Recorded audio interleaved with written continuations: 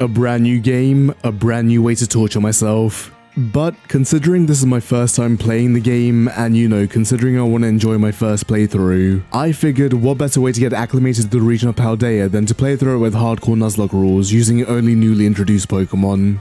Kinda. I know, very unique. I'll admit, here and now, I'll be a lot more lenient on myself as there are quite a few Pokemon I really want to use, and in fun the game is still pretty limited. Losing them early on would suck, and I also don't want to reset the game in the event that I do wipe out, so I'll be coming up with some BS rules midway to justify me cheating. You already know the rules of a hardcore Nuzlocke, but to summarize, if a Pokemon faints, it's no longer usable. We'll be playing on set mode, we can't use items in battle, and we can't overlevel past the next gym leader. One rule I'll be changing is catching one Pokemon per route. If we run into a newly introduced Pokemon that we haven't caught yet, it's free game. This also includes regional forms and Pokemon that can evolve into new entries. So this is going to be slightly different to my regular videos in the sense that while I am still scripting the majority of it, I'll be going based off of the notes I made while playing the game so that you can get an idea of what my thoughts were at the time with no other information. In other words, I tricked you. That's right, that title is clickbait. You're just watching a regular playthrough with some rules thrown in the mix. Please don't go. As I said, at the time of me playing this, data on the game was still pretty limited, so aside from the gym leaders, I don't know any of the level caps or difficulty. I'll have to infer them based on other aspects like nearby traders, and as such, I'll probably be a bit off at times. But it is my first playthrough after all, I'm really not going to be too strict during this run. And with that, let's just jump straight in. Walking down the stairs, we already know that we're playing a new generation. Our parents actually have a room. Truly groundbreaking. Into the kitchen, and I'm glad Game Freak decided to stick to their long-standing tradition. And within 2 seconds of leaving the house, we're already introduced to our starter choices. Good Game Freak, please always make this part quick. We have Sprigatito, Fuecoco, and Quaxly. I mean the choice is obvious, but we first have a chance to actually walk around with our Pokemon after 4 years. Look at him go. We actually are loaded. Like, this is the richest we've ever been in the Pokemon game. Maybe a house in the Alola is comparable, but a villa on the coast of the sea is hard to beat. Look at this garden. We don't even share any walls or boundaries with any other houses. And I'm gonna say it, the graphics don't look all that bad to me. Like, nothing amazing, but I've liked what I've seen so far. But enough of that, off we go. And it looks like our rival is an actual billionaire. I guess we're roleplaying as a rich boarding school prep kid. Can't relate. What's with that weird stride? I have fairly narrow eyes, so I tried to pick something that fit, but I wasn't expecting to look that smug.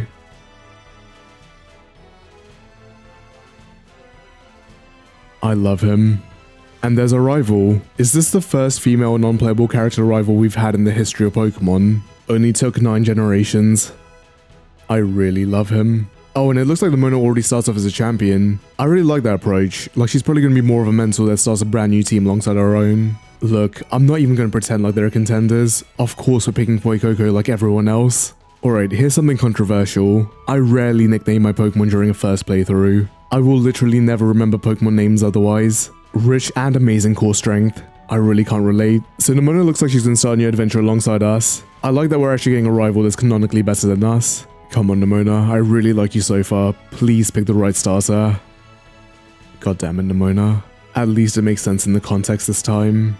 She's trying to go easy on us. She even has her own private beach. I mean, this next part's straightforward. We start off with Ember, so we can just spam that. I really like the UI so far. I'm glad that they're going with the minimalist style. And something I just noticed, Pokemon actually have texture now. They look so much better like this. Nemona's looking to be one of the better rivals so far. She actually seems to enjoy battling, and her personality isn't entirely based on living under her brother's shadow. That's a step forward for me. Even the catching tutorials improved, with us being forced into a battle against the Lechonk with Pokeballs. We're our own catching tutorial. On the first route, we catch two more brand new Pokemon, Tarountula and Pawmi. I'll be honest, while I love Lechonk, I don't think any of these are going to be part of the main team. Not soon after, we find a weird shiny lizard that has succumbed to Mother Nature. Well, far be it from me to interfere with the food chain. Why? It might eat me. What would a giant mechanical lizard eat?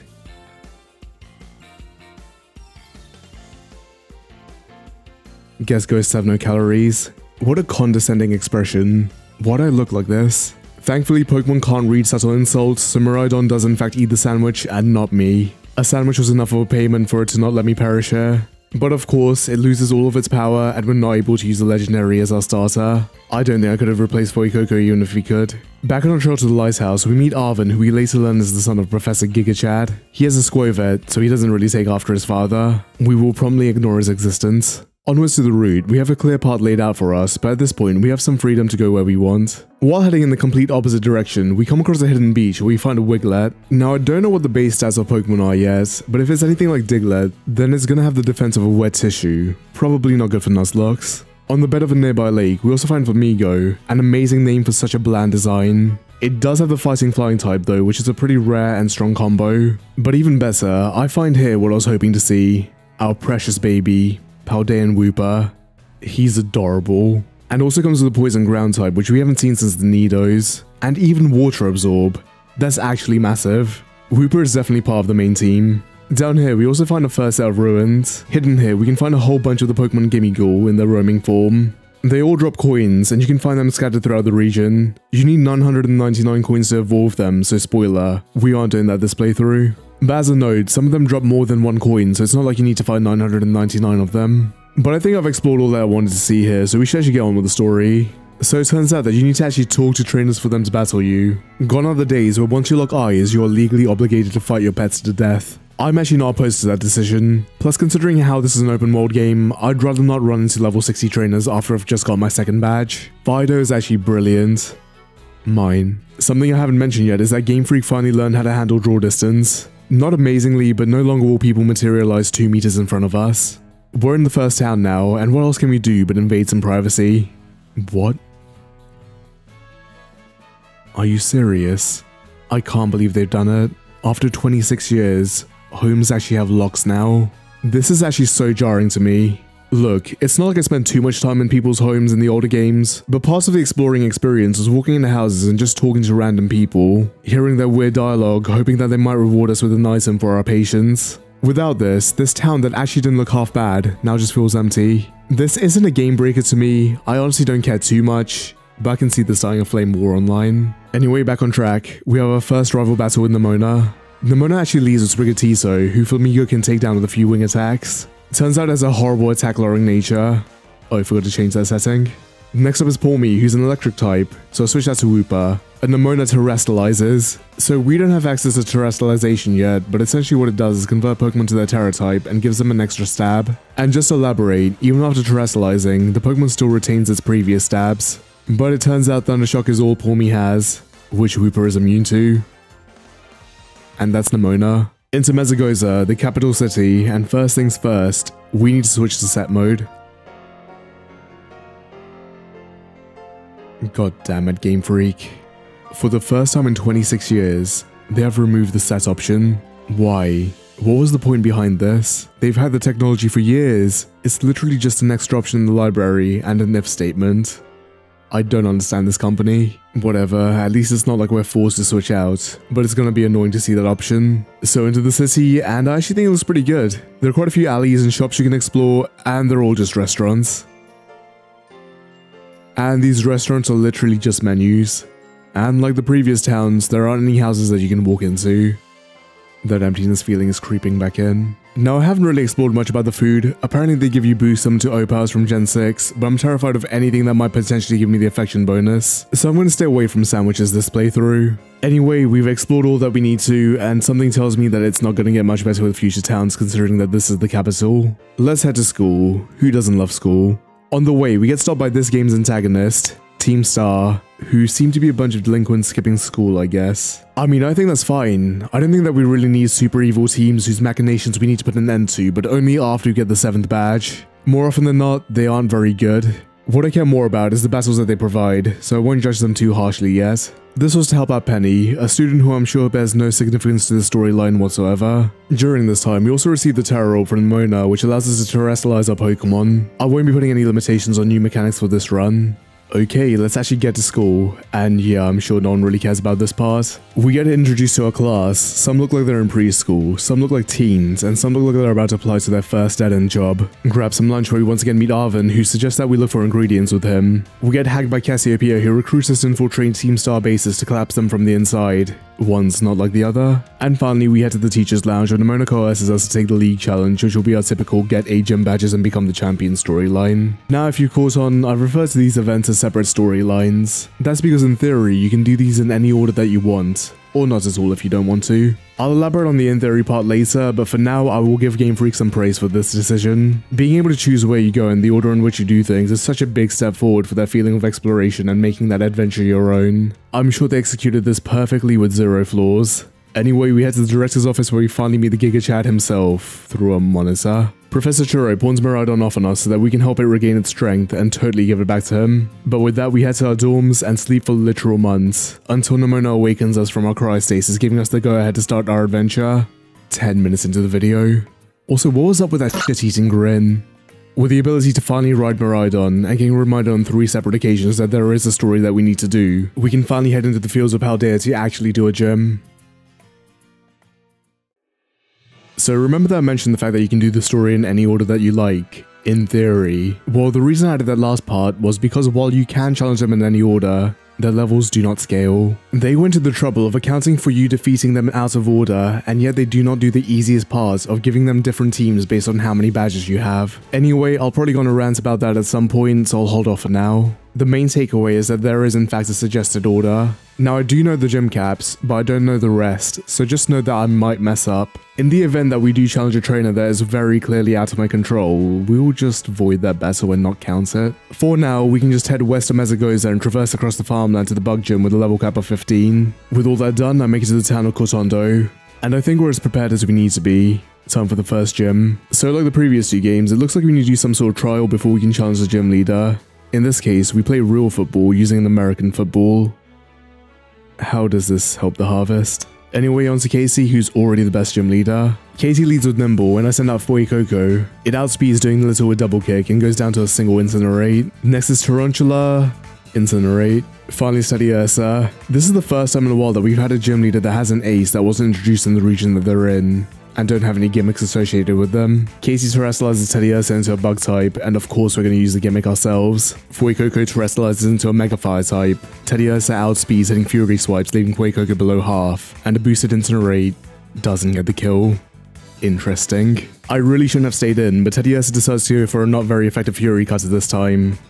Getting a crit, leaving Fuecoco on 3 HP. Fuecoco is able to pick up the kill with another Incinerate, and that's the first badge. I don't know why I played so risky this early on. I think at this stage I'm still in my honeymoon period with this game and not really paying attention to the actual battle part. But yeah, easy enough, not like we're gonna struggle regardless. Time for the next gym, and here's where the order gets kinda weird, because in terms of level cap, the next gym is actually in the opposite direction with us needing to go through the east exit of Mesagoza. If I didn't spoil myself on the gym order, I would have easily ended up at the fourth gym with an insanely underleveled team. This is one of the reasons why I feel level scaling is important if this is going to be an open world game. I wonder how many players actually naturally thought to go back in the opposite direction for the next gym. I would assume most, including myself, would have just gone through the town to the next city. This new area introduces us to a more mountainous region where the first Titan of Arven storyline lies. We'll ignore it for now as I want another gym badge first. And oh god, what is this thing? Oh no, don't smile at me like that. You should not be allowed near children. And I noticed something. Game Freak actually acknowledged that some students can have facial hair. When has anyone supposedly our age in a Pokemon game had facial hair? This one has a full-blown 5 o'clock shadow. This guy is just Mario in a school uniform. Never too late to get into education. But this does bring me to another point. With the school obviously having various ages and with how limited our clothing options are, why didn't they just let us pick our age? Like they don't have to create a whole new variety of clothing since there's only four uniforms. And it's not like we need too many options. Child, teenager, and young adult would have been perfect. This could have been the perfect region to introduce this and would have made the limited clothing options so much more understandable. It's not like they really need to change anything else. Nothing else in this game really alludes to your age. It's not a big deal, but this dude's obviously like 17 or 18, and they already have a uniform model for him. Add three more and account for the customization screen at the start, and you have a new age option. Maybe one day. During this time, Fuecoco evolved into Crocalor. There is not a single thought behind those eyes. I love him. Anyway, next gym. This one's a grass gym with a level cap of 18. Our task this time is to herd a bunch of Sunflora, and this is where the frame rate becomes laughably bad. Luckily finding them is really straightforward, and you only need 10, so we aren't here for that long. Onto Brassius. Brassius leads with Petilil, and I start with Crocalor. Incinerate. Next is Smoliv. Incinerate. Finally, Sudowoodo, who Brassius removes its advantage from, turning into a grass type, though giving us the perfect pun in the process. Incinerate is still not able to get the one shot. Truly Wudo comes out with a not very effective Trail Blaze, raising its speed. I don't know why I thought it'd be stuck with grass moves as I stay in on Truly Wudo's Rock Throw, leaving Crocalor on just 14 HP. A crit would have killed, but a final Incinerate gets us the second badge. Nothing too scary yet, but I have been playing pretty risky. Though so far from what I've seen, this is probably the only way I'll lose a Pokemon, so why not have a little fun? I figure with two badges, it's about time that we get started with some other storylines. The first Titan being particularly close to us. These segments are kind of like the Totem battles from Sun and Moon. Basically, we fight one Pokemon, the Titan, and they have two phases. The first time we're just fighting them as normal Pokemon, and during the second phase, they gain a stab boost after eating some of the herbs that we're looking for. During the second phase, Arven comes along to help us out. Sorta. Klawf specially weak, so with Shelter's Water Gun and Wooper's Mudshot, it goes down in no time at all. Klawf does have the ability Anger Point, which is kind of like a free Shell Smash, raising its attack and speed, but lowering its defense. Though, to be fair, it's not like it ever attacks my Wooper, and that's the first Titan. Pretty easy so far, to be honest, but I could have been over-leveled for this part. I don't really know. Well, this lets Arven grab some herbs to make a sandwich, and this seems to be the way that will unlock new functions for Miraidon. Also, there's some story with Arven. I'll be honest, I don't really care. Onto our first Team Star base. Now these guys I actually don't know anything about. There's a new feature where we can send our Pokemon in the overworld to fight wild Pokemon with our own free will. It's actually pretty devastating. The Team Star base is focusing on this new feature, so I'm interested to see how they implement that. Approaching the base, we had another call from Cassiopeia outlining our mission. This feels a bit over the top considering we're just telling a bunch of delinquents to go back to school, but I'm all here for it. There's even a new character called Clive, who I really hope doesn't turn against us. Charles the Charcadet. I love him. Anyway, before taking on the base, we had to fight the guard.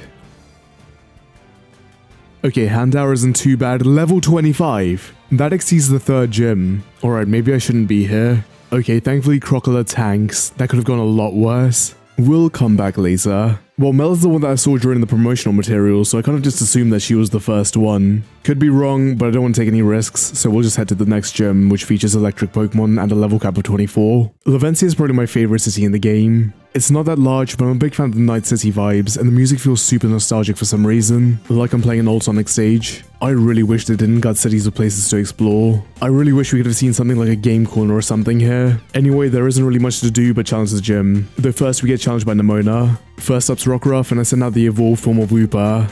Clodsire, and he is better than anything I could have expected. I really think the Pokemon designs so far have been really good, with the exception of one or two. Rockruff starts off with a Howl, raising its attack, and Clodsire misses Mudshot. Okay, not the best debut. Rockruff gets in another Howl, and we miss another Mudshot. That's a 1 in 400 chance. Thankfully, none of Rockruff's bites get the flinch, and it goes down to two Mudshots. Next is Pawmi for some reason, and we have no reason to switch. Pawmi raises its special defense with charge, and Mudshot does over half. And then Pawmi goes for a dig. Alright, and Flamigo, who's immune, and it can outspeed finishing Pawmi off with a double kick. And finally it's Floragato, the evolved from Sprigatito. And no, become quadrupedal again. Right after I said I've been liking the designs. We can take it out with two wing attacks. You know, Flamigo has had a lot of mileage for being a single stage Pokemon that got on Route 1. Even with bad nature, it's been pretty strong.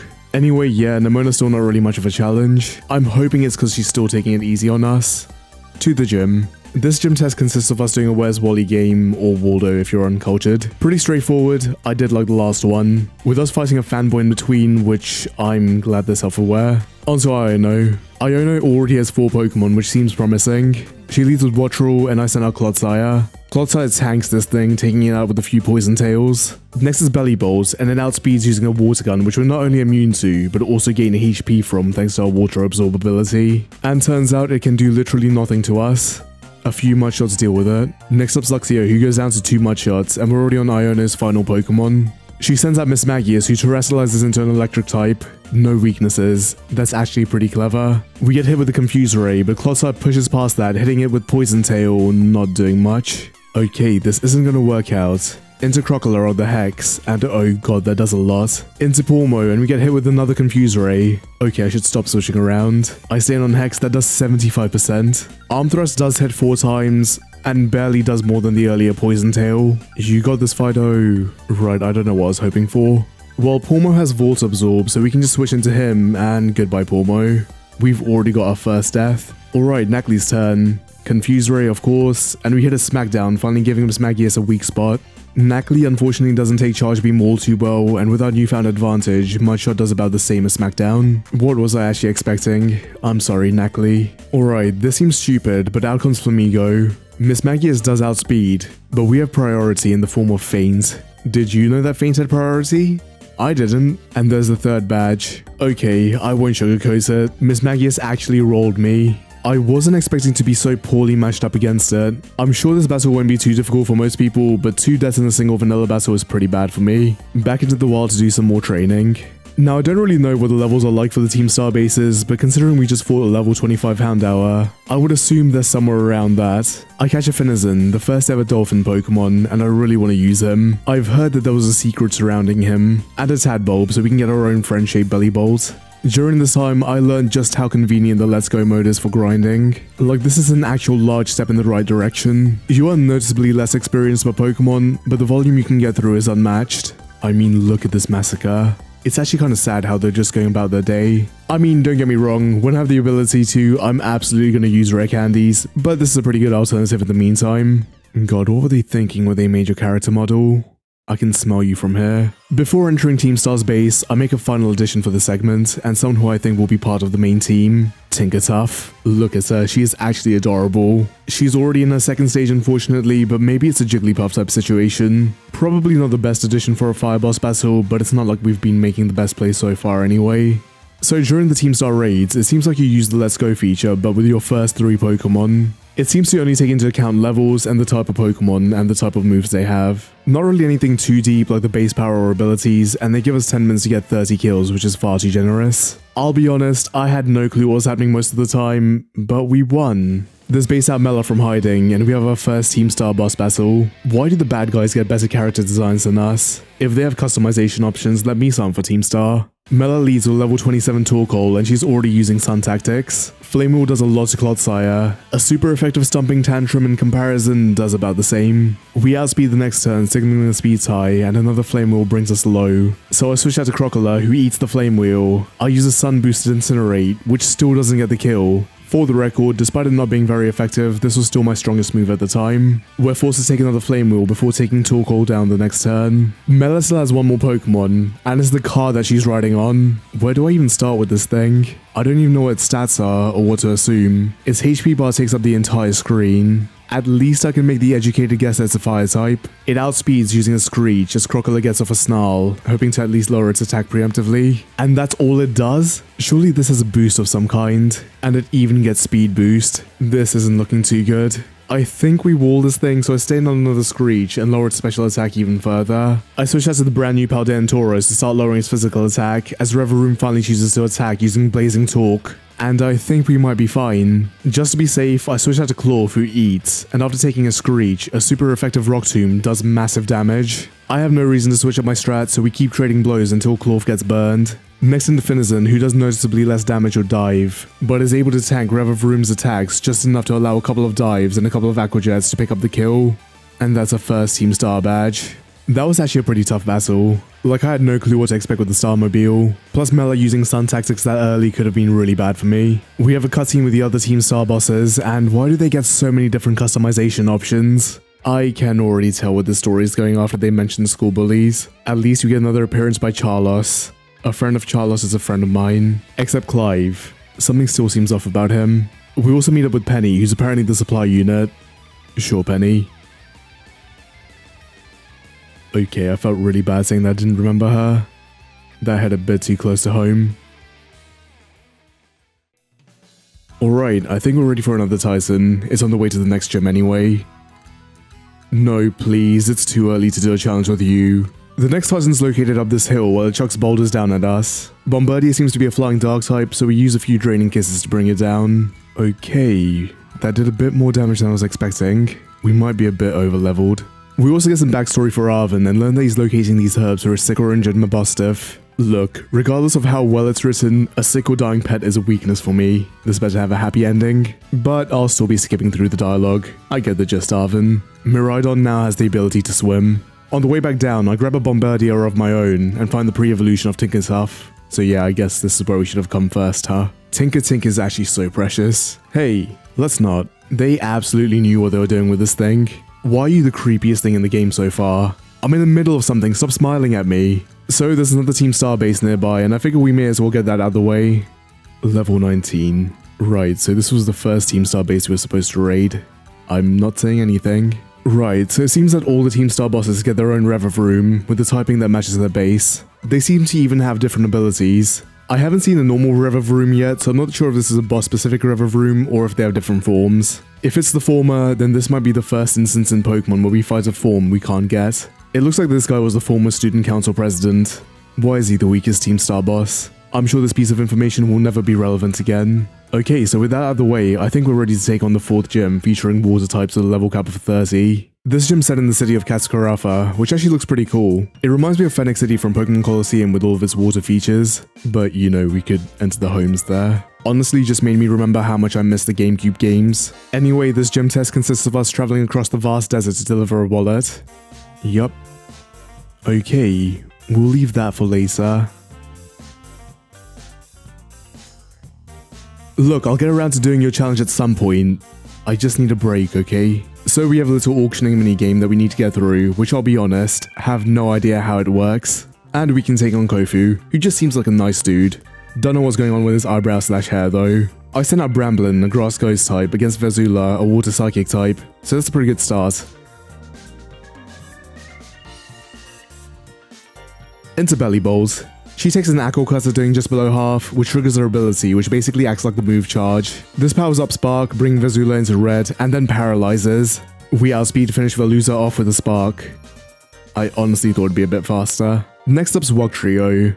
I love Wugtrio, but it'll die to a gust of wind, so I stay on the headbutt, and Bellibolt gets flinched. With the sand damage, it's not safe to stay in, so into Flamigo. Wugtrio still outspeeds to hit headbutt, but Flamigo pushes past the flinch to hit double kick, getting his speed lowered by Gooey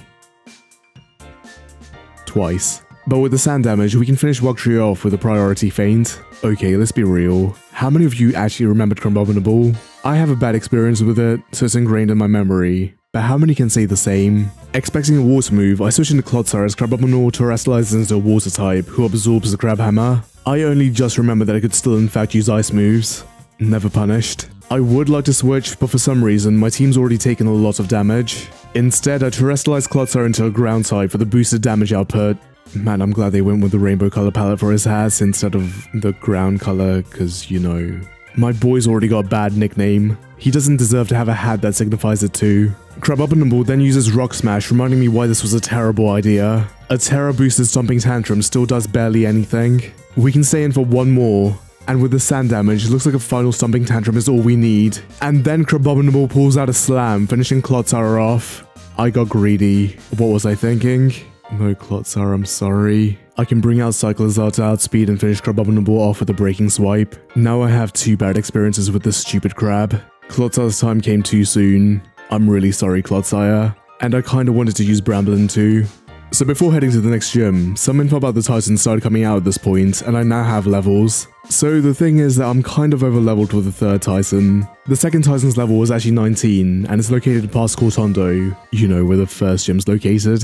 I'm gonna keep my mouth shut for now. Well, at least the third Titan's level 28 and it's just past Levincia, the third gym, so that at least makes a bit more sense from a natural progression point of view. An Alaskan bullworm has made its home in the excavation site and it's our job to chase it down. And why is Orthworm so goddamn adorable? I don't want to hurt this thing. It's a steel type, so Crocalor can make quick work of him.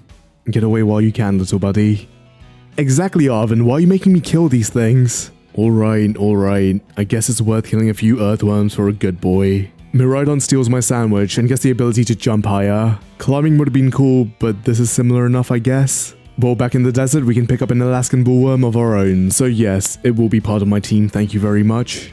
Well, just up ahead we have the third team starbase, but our levels are looking kind of low, especially after adding the new encounters on our team. Luckily, just up in the forest ahead, Girafarig can massacre a bunch of Passimian using the Let's Go feature. During this time, Girafarig learns Twin Beam, which is a move that allows her to evolve into Farigiraf. This star base also mains poison types, so we can even add Orthworm to the team. And after getting some levels into it, I think we're ready.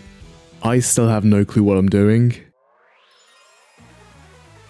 Atticus leaves with Skuntank and Farigiraf comes out, which is the worst possible one I could have led with. Into Tauros on the Toxic. Stomping Tantrum does over half, and Skuntank has Venoshock. We survive, and another Stomping Tantrum brings Skuntank down. Next is Muk, but Poison's starting to look kinda scary, so switching to Orthworm on the Sludge Wave. Bulldoze does nothing, and Muk goes for another Sludge Wave.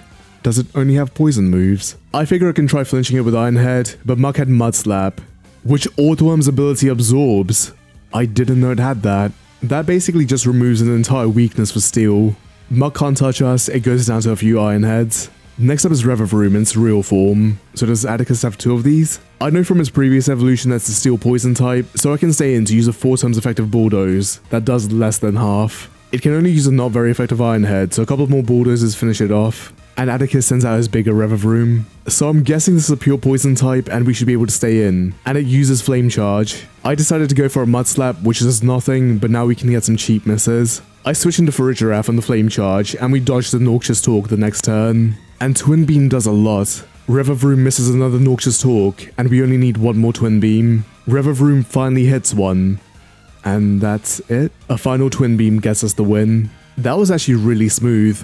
We were within the level cap as well this time. While I'm basing my level caps off of the gems, I would like to stay somewhat close to the other bosses as well. Some more backstory and yep, this is another they aren't really the bad guys, just misguided story. At least I like how self-indulgent it is. The music they play is so dramatic. So the next gym's level cap is 36, and we're already pretty close to that, so I think we should just head over to Medali. This gym tasks us with battling other challenges for clues, which we then use to figure out the secret menu item that we need to order. I actually really like this concept. I mean, the puzzle's easy enough, but if this was randomized, it could be fun on repeat playthroughs. I did end up buying the rice ball thinking I'd get a clue, not realizing the rice ball itself was the clue. I really hope my Pokemon don't become more friendly because of this. While fighting the trainers, our Crocalor finally evolves into Skeledirge, who looks awesome. I'm really glad I picked Fuecoco. I think this is the first quadrupedal fully evolved fire starter, unless you count Typhlosion. I do kinda miss the dopey look the other two had, but he looks cool so I'm happy. Skeledirge also gets the signature move Torch Song, a new fire move that always raises special attack.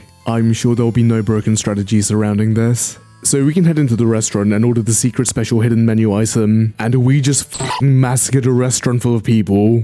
The Let's Go feature has gone too far. I... I'm not that hungry. I'm sorry. The gym leader's name is Larry. That is the most fitting name for a normal gym. Norman's a pun. That's too interesting. Larry's perfect. Larry's actually perfect. He's just a dude taking a break at his favorite restaurant to avoid work. I've never related to someone in a Pokemon game before. Well, I'm sorry to disturb you on your lunch break, Larry. God damn, Larry, that battle pose. I'm intimidated. Larry leads Komala and I send off Flamigo. Proper digestion sure is important, Larry. Double kick puts Komala into red as it goes for a yawn. I decide to stay in, finishing Komala off as Flamigo gets put to sleep. Dudunsparce! We finally got an evolution. On one hand, I feel robbed of an ancient Chinese dragon inspired by Dunsparce. On the other hand, this is literally perfect for Dunsparce, let's be honest. I figure I can stay in for one more turn to wear off some sleep, and Dudunsparce hits a Hyper Drill doing a lot of damage. It's a Tauros, lowering its attack, who takes a Hyper Drill which does less. Double Kick does just barely over half, and Dudunsparce paralyzes us with Glare. We can stay in for another Double Kick putting Dudunsparce down. And of course now we learn a good fighting move. Damn it Larry, I didn't come here to get my heart stolen. Finally it's Staraptor.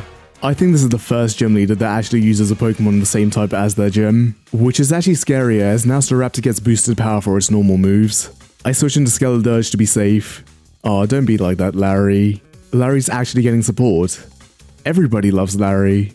I'm glad Game Freak understands that Larry deserves the good life. And Larry's a people pleaser. Staraptor terastallizes into a normal type and reads my switch going for an aerial ace. I did something a little stupid and terastallized Skeledirge into a fire type, removing its normal immunity. I was just in awe of Larry. Staraptor goes for an aerial ace, brings Skeledirge below half. We use a torch song, which does less than half, but increases our special attack. Look, I should have switched out. I literally had two steel types on my team, but I was just caught in the moment. I stay in as Larry teaches us some harsh lessons as he goes for a facade. That's actually brilliant. I'm loving this gym. And Skeledirge survives on 5 HP. A boosted torch song wins us the fifth badge.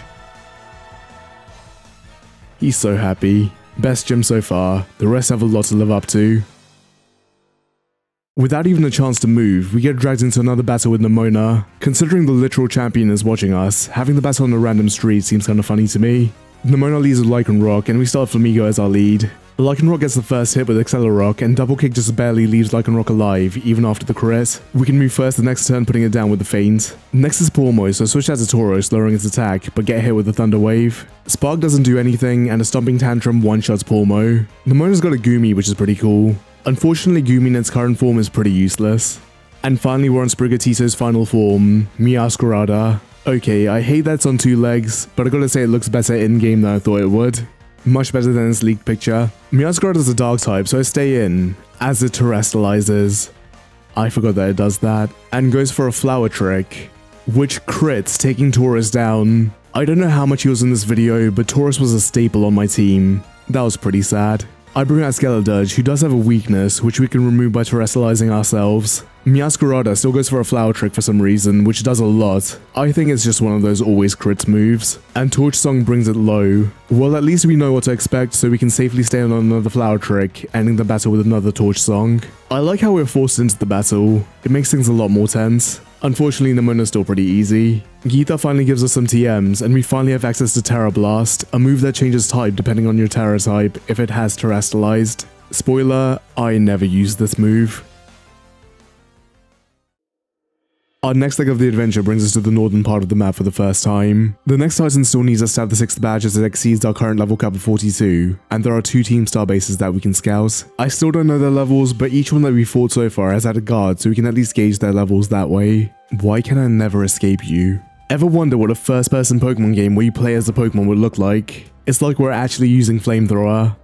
I have way too much time on my hands. This portion of the map is basically the snow section, and these parts are usually my favorite locations in Pokemon games. Scaling the mountain on Miraidon was pretty fun, and we even got a few additions to the team. Greavard, who's just a good boy, and Toddle, what more can I say? Tinkatuff even evolved into a Tinkaton, and I love this evolution line. The stats were dropped, and unfortunately despite how it looks, they aren't very good. But it does get an amazing move. Gigaton Hammer, 160 base power steel move with 100 accuracy. The only drawback being that you can't use it twice in a row. Eventually scaling the mountain brings us to the town of Montnevera, home of the 6th gym. I am never saying that name again. But before we do that, I want to scout the bases first just to know that I'm not getting ahead of myself. Hidden on the opposite side of the mountain, flowers spread across an open plain with the Fairy Team starbase clearly in view. How do the nurse and store clerk travel here daily? They deserve more pay. Clive joins us for this operation and ponders why Cassiopeia is doing all this. Yeah, I wonder why, Clive. Well, this time instead of fighting a guard, we're throwing hands with Harrington. He leads with Morgrem and I send out Tinkaton. Good start. Level 48! Oh, oh, this could be a problem. The thing is that this is the same level as the level cap of the final gym. I mean, I guess he could be the one that we're supposed to fight last. But first we have to get through this battle. I click Gigaton Hammer, and we outspeed to my god. We obliterate that poor thing. 10 levels under. Next is Hattrem, who I first hit with the Brutal Swing as it sets up Calm Mind, and then Gigaton Hammer all over Hattrem. That could have been so much worse. I probably shouldn't get into unnecessary battles. That was some good info though, because I tried to find a natural way to get to the next Team Star base without Skyrim horse glitching the mountain, and it seems like we need the climb function in Miraidon to make it there, which we'll need to fight a Titan for, both of which exceed the current level cap of 42. So onto the 6th gym. This one features ghost types, and we don't really have many Pokemon that can deal with ghosts. Our start is a ghost type, so that's a double-edged sword, and our other appropriately leveled Pokemon are kind of ill-equipped. Man, I miss rare candies. People make the argument that by not using rare candies, you're forced to use Pokemon that you'd never used before, but I swear it's the opposite. Without rare candies, I have absolutely no motivation to train up a new Pokemon, and end up using the same ones I've been using up until now. Like I am training up Bombirdier, but only because I feel like I need a Dark type and it's already got a decent level. Sorry, that's kinda irrelevant to the task at hand. Just kinda popped into my head while I was grinding. Alongside Bombirdier, I also add Greavard to the team, who evolves into Houndstone. It's also a ghost type, but it's the best option that we have. It also learns an insanely broken move, Last Respects, which powers up the more fainted Pokemon that you have. Maybe not the best for Nuzlocke, but imagine having a Choice Scarf with like 3 dead Pokemon in your party. You'd have a 200 base power move, not even accounting for Stab. No rules against carrying dead Pokemon after all. Anyway, I think we're ready. Oh, oh no. Why are you the one handling the gym challenge? And you call yourself MC Sledge? Don't give me more reasons to hate you. No, stop that. Why are you doing this? Why do you have the creepiest smile on your face while doing this? You are literally maintaining this facial expression through this entire animation loop. What even is this action? Like, what are these series of animations supposed to express? Like, you see what I mean, right? It's not just me. What does this mean? What am I supposed to feel? What are you trying to tell me, MC Sledge? Alright, so it looks like this is just gonna be a series. You're still doing that. Please just stop. You're really just gonna keep doing that in front of all of these good people, huh? Okay, whatever. Battle start. Oh nice, we're doing double but why during the battle? Is this where the gym battles start becoming hard? Breaking the fourth wall by distracting me. And I just realized that Skeledirge is out. Meaning if you don't get a chance to switch out Pokemon in between battles, he's gonna overlevel. God damn it, MC Sledge. Oh, we also get boosts. So it's gonna be one of these gyms. Did they learn nothing from Opal? So we do some battles, while MC Sledge does his thing, menacingly.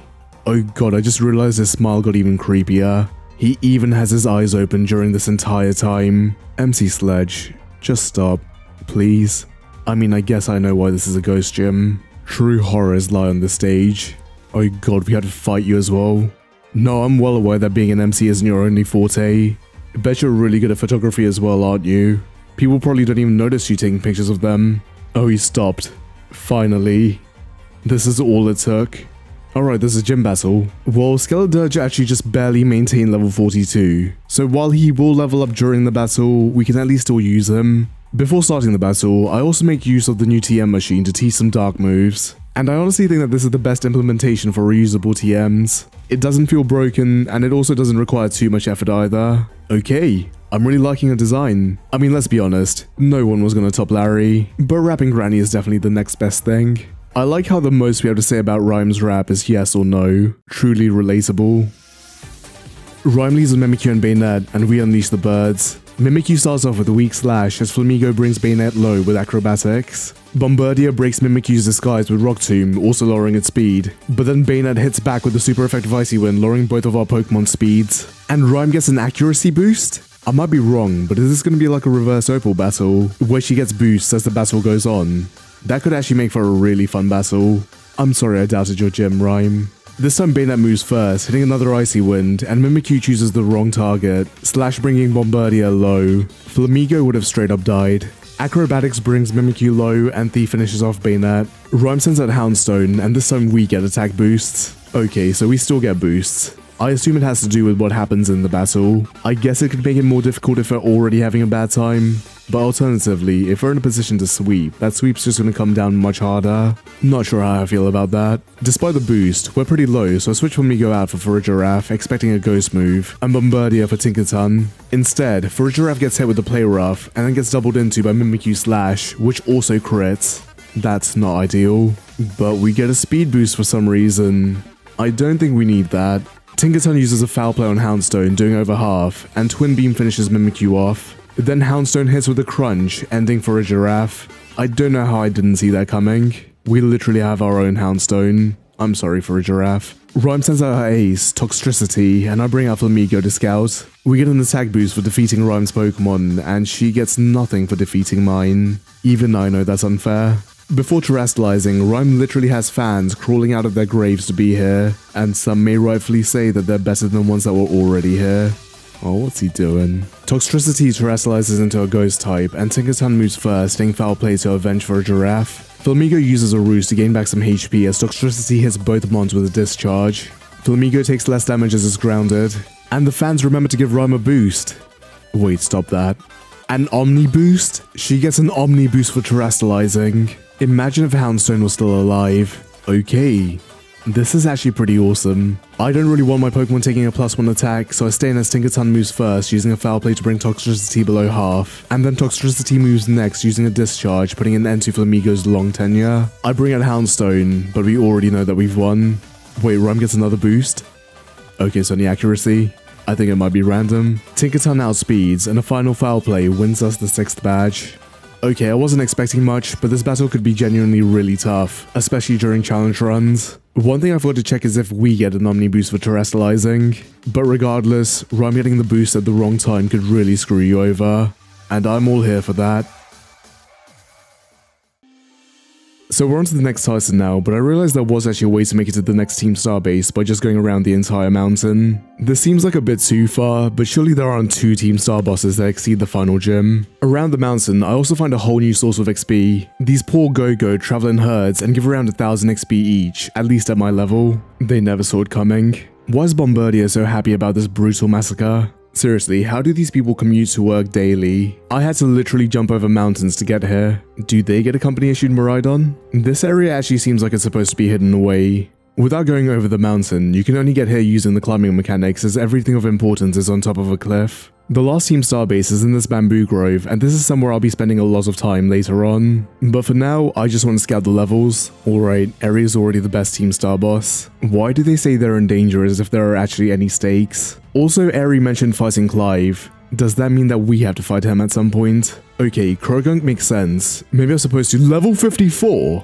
This Team Star Grunt not only has a Pokemon that exceeds the final gym, but exceeds the cap by 6 levels. She's also only one level below the final Titan. Don't tell me that Team Star is actually the way that we're supposed to end the game. Right, so it's obvious that I have to come here last. Makes sense as this Bamboo Grove is probably the place that's the most out of the way. Croagunk's easy enough, we outspeed a 2-shot with Pluck, as all it does is use a nasty plot, and next is Primeape. Let's see what Bombirdier can do. Excuse me? I wasn't expecting a grunt to have that. I didn't even bring my main team since I wanted to grind a bit. What am I supposed to do? I send out Houndstone and Primeape goes for an Outrage doing over half. At least I'll play rough hits, also doing over half, and its attack dropped. That could actually make all of the difference. I stay in, and Houndstone survives on 12 HP. A second play rough finishes Primeape off. That could have very easily been a wipe. This is one of the reasons why I started avoiding trainers, but I've also become careless. I had my entire team boxed for this battle. Right, I'm not coming back here for a while. Let's just head for the 4th Titan. So the next Titan is level 44 and is a ground type. If you hadn't noticed, most of my team is pretty weak to ground types, which is why I thought I'd try raising a few more Pokemon. Two in particular being a Finizen, which I caught a while back on a beach, and Frigibax, a Pokemon that I found in the cave system that was basically an alternate route to the 6th gym. I think this is going to be the pseudo-legendary, and it's an Ice Dragon type, so it'll be pretty good against the next two Titans. Unfortunately, both of these need to be grinded up, so I head to the desert, and my god, what have I unleashed.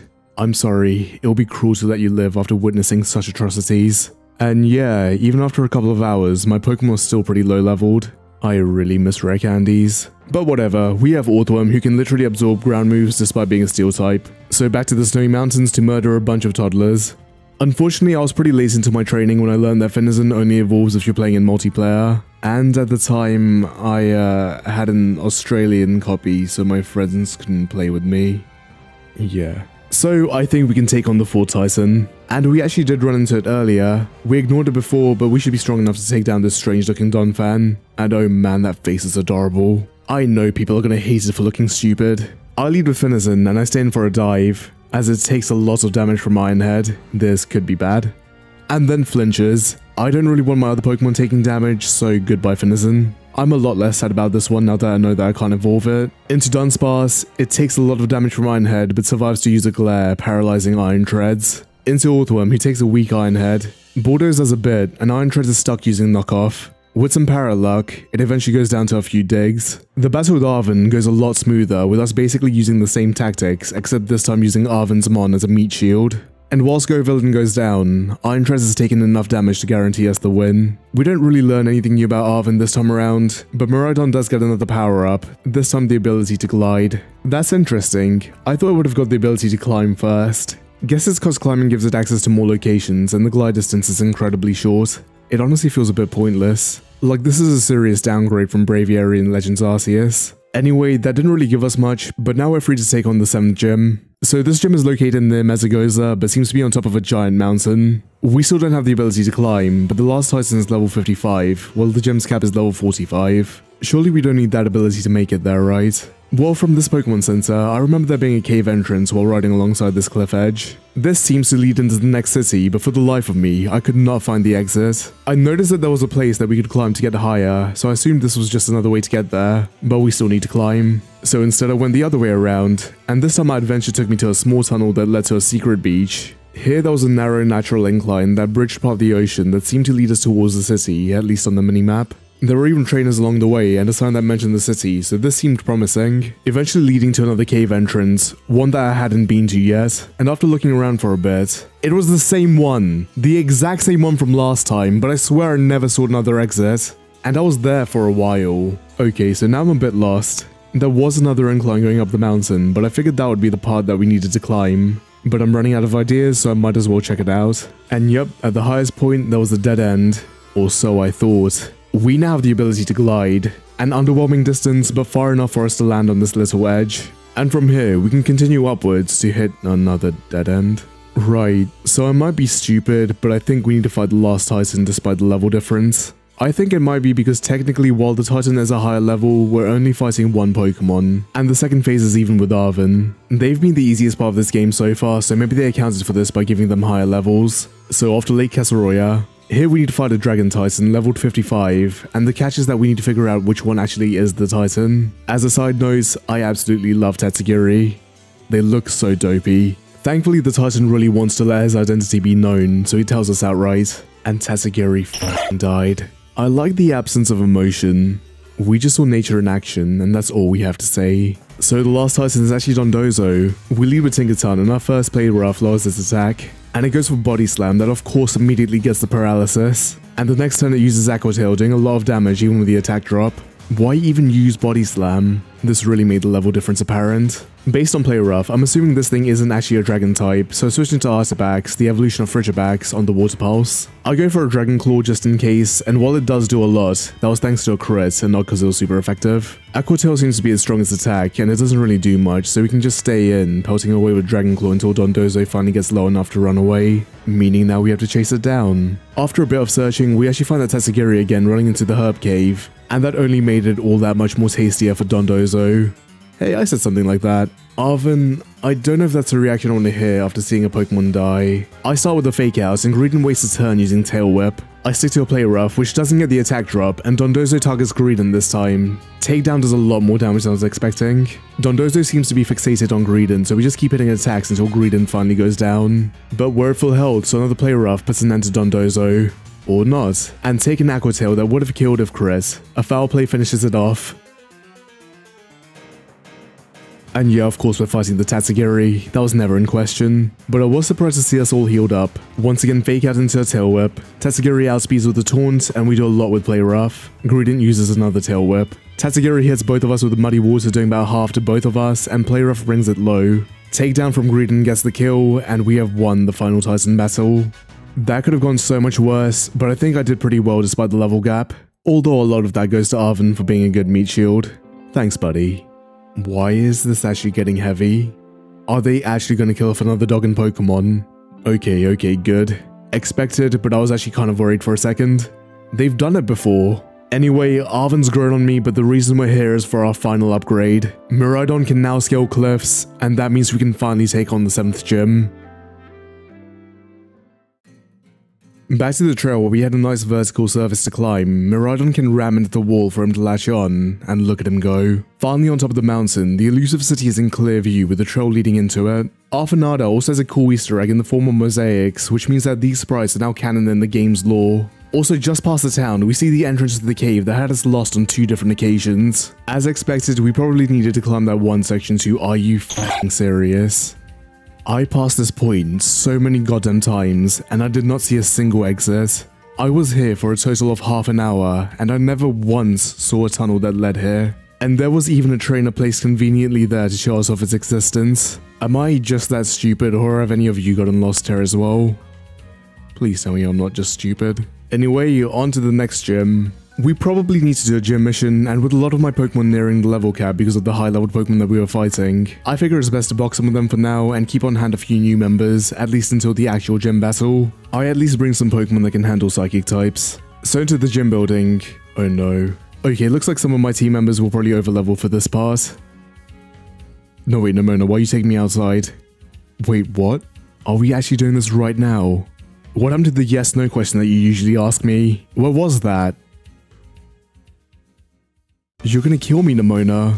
Nemona leads with Lycanroc and I lead with my own rock, Klawf. Not the worst lead. Nemona, my team's boxed. You didn't give me a chance to make this a fair fight. We have a super effective move, so I stay as Nemona already starts with the accuracy hacks. And of course it works. She goes for another. And of course it works a second time. And this monster even tries to flinch me. But this time, not only does it not flinch, not only does my stomping tantrum hit, but it also does double damage as my previous one missed. Still not getting the kill. We were so close. Shell armor so we can safely survive the next rock slide. And even the next stomping tantrum hits, bringing Lycanroc down. Yeah, we probably could have lost two Pokemon there. Next up Sliggoo, and thankfully it's still in a stage where it can't really do much, so switching to Orthworm on the Dragon Pulse. Ironhead does just under half, but it looks like we can stall Sliggoo out. Doesn't matter as the next one gets the flinch and we can finish it off with one more. Next up is Pawmot, and like, is this thing fully evolved now? I genuinely can't tell. Turns out it was. Not only does it look almost identical to its pre-evo, but it also has a near identical name. What were they thinking? Look, this thing's a fighting type, but I didn't know that, so I stay in. And it uses Spark. Absolute throw. We use a Bulldoze, doing about a third, and also lowering its speed. Into Bellibolt on the Thunder Wave, and it gets hit with a Spark. Does this thing really not have better moves? Bellibolt hits Mudshot, and we just repeat this two more times until Pawmot goes down. And finally it's Meowscarada. We're actually doing great so far, but I'm very scared of its always crit move. So as Nemona terastallizes, we stay in to take the flower trick, putting Bellibolt down. This is terrifying. I don't even know who can take a hit. We have Lokix who resists, but is not exactly the bulkiest. However, I do have a plan. I sent out Dunsparce, who has a massive HP stat, and it has a special move that can paralyze. Meowscarada goes for a flower trick, and yup, we're screwed into Lokix. Now Lunge lowers attack, but a crit will always bypass that. I do consider terastallizing for extra damage, but then we lose the Dark Resist. I stay in, and Meowscarada goes for a Slash. Why? We hit Lunge doing over half. Meowscarada goes for another, not getting a crit and doing even less damage. And we finish this terrifying battle with a final lunge. What happened? Flower Trick with Stab, Crit, and the Terastallization boost would have done more than Slash, even when resisted. I think what happens is that the AI don't account for crits, even if guaranteed. Though I swear the Terastallization boost would have still covered that. To be fair, I don't know what the exact numbers are as of now. Still weird either way. Anyway, works for me, onto the gym challenge. Oh yeah, I should bury you two first. I figure it's just best to keep my team on me. I don't know what to expect. While the gym challenge goes on fine, it's just a very slow quick time events minigame and a few trainer battles. All my Pokemon stay within the cap, but there was one trainer that had a pure power Medicham with high jump kick, which is brutal as the ability doubles its attack. Cyclizar took one for the team to lower its attack and give us a free switch. Onto the gym leader. Nemona may have been painful, but luckily our team is pretty well suited for Tulip, who uses Psychic Pokemon. Tulip leads a giraffe, and I send out Tinkatuff. She starts with a fake out, and then outspeeds hit Gigaton Hammer, doing well over half and then Farigiraf misses Zen Headbutt. After that last battle, I'll take it. We can't use the hammer back to back, so this time I hit a foul play, bringing out Espathra. Espathra outspeeds using the Shadow Ball, not doing anything, and we hit the win button, bringing it into red. Another foul play, and that's the second one down. Next is Gardevoir, and like an idiot, I misclicked foul play, to my surprise outspeeding. Gardevoir's best move is Psychic, so win button. And lastly is Florges, who I'm happy to see is finally an ace. She deserves that. Florges terastallizes into a psychic type, but we outspeed, so another foul play later. One more click of the win button wins us the 7th badge. You know, after all that effort to find this town, I was kind of hoping for more. Anyway, there really isn't much more to say about this battle, and the video is long enough. Let's head to the final gym. So there really isn't much effort to get to the next gym, and we're already pretty close to the level cap. All we need to do is go to the 6th gym and head through the other exit. There isn't really much room to deviate. All you need to do is follow the trail on Glaseado Mountain and we get taken to a ski resort, which is basically just a gym next to a slope. But it's the final one, so it's special. Nemona, please stay away from me. I'm not ready. Okay, good. Thank you. Dude, why do you follow me everywhere? For this gym challenge, we just have to go down a slope. Yup, that's it. We don't even go down the cooler slope. I'm not sure how you fail this. There aren't even any trainers. Anyway, this lets us meet the man that revealed the sheer number of sexually insecure Pokemon fans, which surprised me considering the existence of some certain Pokemon and people's very open feelings about them. Anyway, let's take on the final gym. Grusha leads with Frosmoth and I send out Skeledirge. I think we got this. Frosmoth sets up a Tailwind and goes down to a single Torch song. I'll be honest, I have the memory of a goldfish, Skeledirge gets hit with an earthquake, but a boosted Torch Song one-shots Beartic. Next is Cetitan, and I better switch out. So it's a Tinkaton on Liquidation. The Tailwind still seems to be up as we get hit with another Liquidation, but we click the win button, and now comes Altaria. Interesting choice for the ace of the final gym. Into Clawfist Altaria terastallizes, and we get hit with a Hurricane and then get confused. I figure I can stay in as Klawf takes a nice beam, leaving on 7 HP. It's still confused, but it pushes past that, hitting Rock Slide. Not even doing half. Into Orthworm on the Dragon Pulse, and while we should wall its attacks, our special defense is pretty bad. Hurricane puts us right into kill range, and Iron Head is still not enough. Now I love this little worm, but all of my Pokemon seem to be in the 2 hit kill range. I don't think we can switch. I pray for hurricanes to miss, which it doesn't. Goodbye Alaskan Bullworm. Into Tinkaton and Win Button. And we have gotten every single badge in Paldea. How long into the video? We aren't even done yet. There's still two Team Star bases and all of the endgame stuff. But here's the catch. From here on out, I'm going in completely blind. At the time of me playing this, there was like no info beyond the gym leaders, at least without delving into some really spoilery stuff. And even then, there's nothing about the levels or anything. So from here on out, we just won't be playing with a level cap. I'll try to infer them based on trainers and just general intuition, but I won't be too strict about exceeding them or anything, since everything will be pure guesswork. So my next level caps I'll be setting as 51 and then 57, two levels above the grunts that we fought outside the base. I think that's a pretty safe assumption. And with our levels already nearing their first cap, why stall? We lost Orthworm at the worst time, but Team Star Grunts are pretty much rolled by Tinkaton, and we're already on Boss Ortega. Oh okay, my levels weren't anywhere near the cap. Oh well, we got this. Ortega leads with the Azumarill and we send out Tinkaton. Underleveled and a bad matchup. Seems about right. Fake out and the Gigaton Hammer brings the Azumarill below half and we dodge the first Aqua Tail. Next I go for a Play Rough which puts it into red as Azumarill charms us, lowering our attack. I decide to switch out to Arctibax, which seems risky, but Azumarill goes for an Aqua Tail, which crits. Back into Tinkaton with the drops removed and Azumarill hits Play Rough. The fake out crits, bringing Azumarill down. Next is Wigglytuff, so win button. Next is Dachsbun, and my god, why do I not have one? We take a play rough, then have to do one of our own, but after taking one more, which of course crits, win button. And finally we're on Revavroom, who sets up a Misty Terrain. Unfortunately my best Pokemon for this thing has already taken a lot of damage, so we have to switch out. Into Skeledirge, who takes a Steel Roller, doing extra damage because the terrain was up. That's actually a pretty cool strat. Revavroom uses a Confused Ray, and I go for my own status with Will-O-Wisp. And it fails? The terrain's gone. Can these things not be statist? Well, we wasted a turn, but we wall, so we begin the Torch Song spam. And yep, that's all there is to it. Fourth Team Star boss down. That was actually pretty painless. I was kind of worried that I have a coverage move to hit steel and fire types, but it didn't, so we could sweep. A ground move would have really hurt. We get some more story on Team Star. Turns out that they were actually the victims of bullying and then got ostracized for standing up for themselves, and yeah, like did anyone not see that coming after the first flashback? Anyway, we only have one Team Star member left, but with how high the grunts levels were, part of me wonders if we actually have to do this part later. So this might sound stupid, but I think we should scout the Elite Four first. Considering the level of the final gym, and that we're free to challenge the Elite Four now, maybe this is just the natural progression. I mean, they did kind of change up the formula in Sword and Shield with multiple story events happening while we were fighting their equivalent of the Elite Four, so back to school. I actually have no clue where to go. Clavel wants me to teach him some hip lingo. I don't know, it could be part of the gym exam. Is this a dating sim? This is a dating sim. Okay, this scares me. The marker is in this general direction, so we'll just fly there. Oh, that was easy. What, is Geeta fighting me right here? Right, that makes more sense. I don't know, that looked like the intro to a battle. We get grilled on some final stuff, and why does this feel like an actual exam? This actually feels intense. The moment pause before Rika smiles is flooding me with repressed memories. I've already done a job interview, I don't want to do another one. Is there even a lose condition? Okay, I don't want to fail this, so I'm not brave enough, but I want to see what happens if I say no. The hardest question they asked me was what the name of the school was.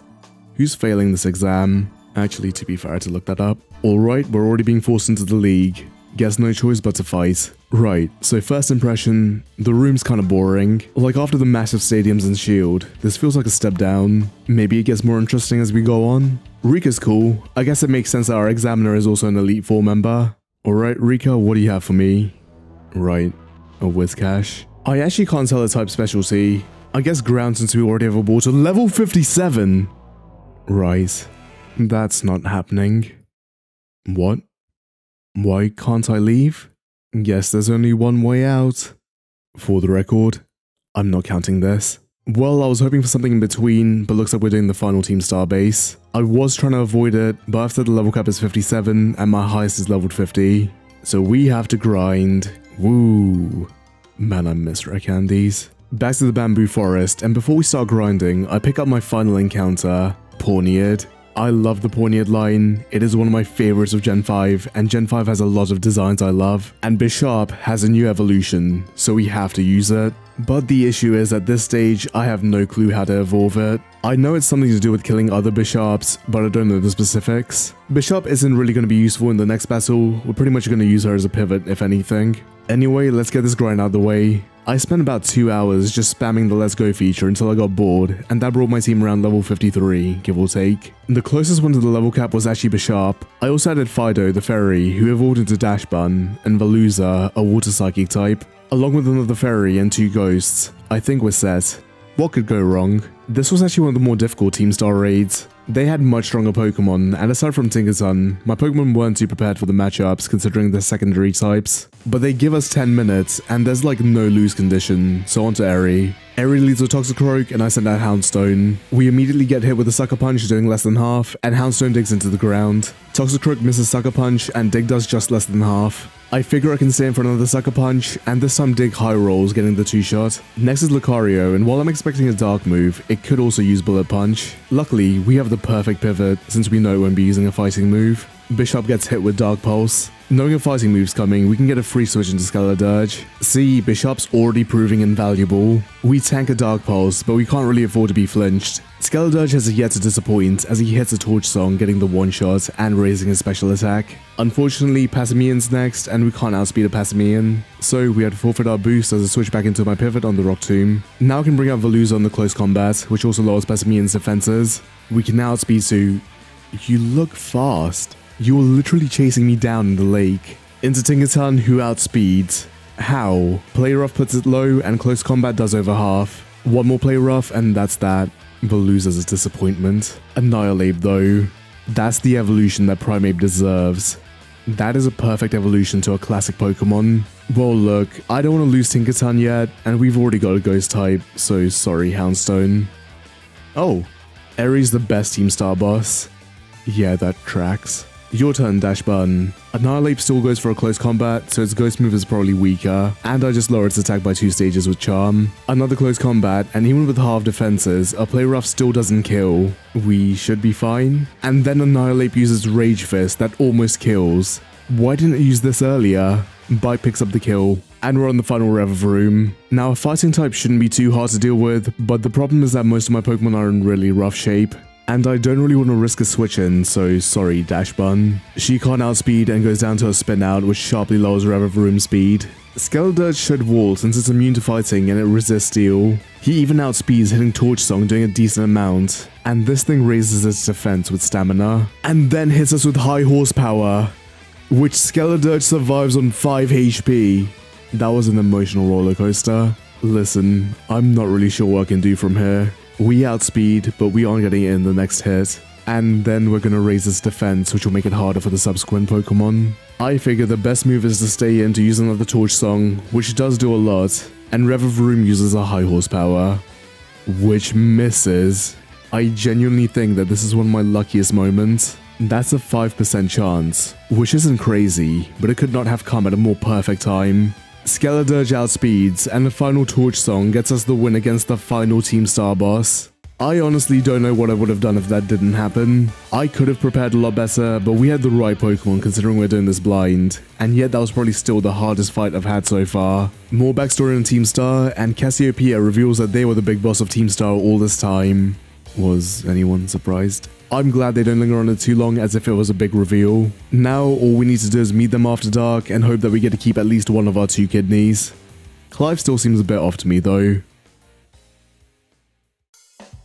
So we're nearing the end game now. All the storylines have come to their climax, and all that's left is doing the final battles for each one. And aside from Rika's first Pokemon, we don't really have much to go on when guessing levels. Now, I'm assuming that the Elite Four and the Champion would be the hardest parts, right? Like, there's no way that Arven's gonna be stronger than top champion Geeta. And considering how he's the least battle focused out of the three stories, I'll fight him first. I decided to set my level cap at 60 for this next segment, and I'll just let my Pokemon naturally level up from there, while keeping the champion level cap at 65. I'm basically just using Leon's team as a guide. But before going back to our humble beginnings, we have a team to rebuild. I add back Arctibax, who I box for the time being, and put Klawf and Citoddle in the party. But there are actually two other Pokemon I want to catch before I start training. So we head back to Lake Casseroya and hunt down the giant catfish, Dondozo. And we also catch the secret commander, Tatsugiri the sushi, both of whom I can use now. I think it's time that we also turn Bisharp into a useful member of the team and introduce you to my favorite quality of life changes. One of Bisharp's signature moves, the one it will always have on competitive teams, is Sucker Punch. This move allows us to have priority if the opponent is about to attack. It's a very useful move for Bisharp as it's lacking in speed, and I'm sure it'll be a very useful move for its evolution. But one small issue with Sucker Punch, it's an egg move, which is basically a move that Bisharp can't naturally learn and has to be passed down through breeding which is something that's generally frowned upon in Nuzlocke. But this game has added something that could honestly make so many more Pokemon a whole lot more viable now. There's a new item that was introduced called the Mirror Herb. You can buy it at the Delibird present store after you collect a certain number of badges. The in-battle effect that this has is that it allows you to copy the other Pokemon's stat changes, but that's not what's important to us. We give Bisharp the Mirror Herb while she has an empty move slot, and add our old friend Lokix to the party, who has recently learned the move Sucker Punch. Now we can go on a lovely little picnic and make ourselves a sandwich. And Bisharp now has Sucker Punch. No breeding required. This game has opened up a way for Pokemon to get any of their egg moves at any time, regardless of what the gender or egg group is of the other Pokemon, with a one-time fee of 30k which is honestly easy to get at this point in the game. This is a game changer and makes so many Pokemon more viable now. And I think it's about time that we evolve Bisharp. So it turns out there's this new item called the Leader's Crest, which you can find on Wild Bisharp. I don't know if we need one ourselves, but I gave one to Bisharp just in case. What we need to do is defeat three other Bisharp holding one, and then level up. And we don't have to just go around killing random Bisharp hoping that we get lucky as there's an obvious tell. Bisharp holding the Leader's Crest are surrounded by their lackey Pawniard. All we have to do is embarrass it in front of all of them, throw a red candy on Bisharp, and she becomes Kingambit. Perfection. I am absolutely loving the Pokemon designs of this generation, especially the evolutions of older Pokemon. I still don't have the stats, but this thing looks like a monster. I was content with all of our Pokemon, but then I found out that the special ability that Tatsugiri has, which allows it to take control of Dondozo, only works in double battles. Disappointing, but I still do want to use Tatsugiri. I boxed Dondozo since we don't really need two water types. Instead, I add Smoliv to the team as we kinda need a water counter. I avoided adding her before because I didn't like her Tera type, normal, but I've learned that it doesn't really matter too much. And finally, I spend the next 3 hours training all of my Pokemon to roughly level 60 the old-fashioned way. During this time, Arctibax evolved into Baxcalibur, and the Smoliv evolved into Dolliv, and then Bolivar. I killed so many Gogoats. But those Go-Go died for a good cause as now we can put Arven's story to an end once and for all.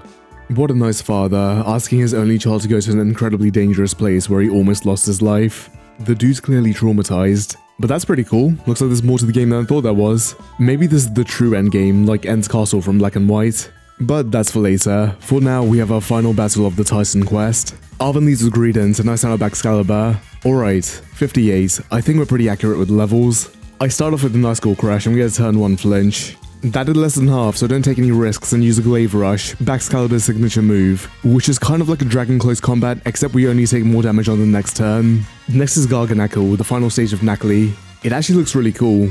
What? Level 62. Arven. What the fuck? This isn't even his ace. Well, I need to switch so into Tinkaton. Yup, just the right level. I press the win button, and it doesn't even bring it into red. Garganacl sets up Stealth Rocks, but what we can do is use Encore, locking him into that move.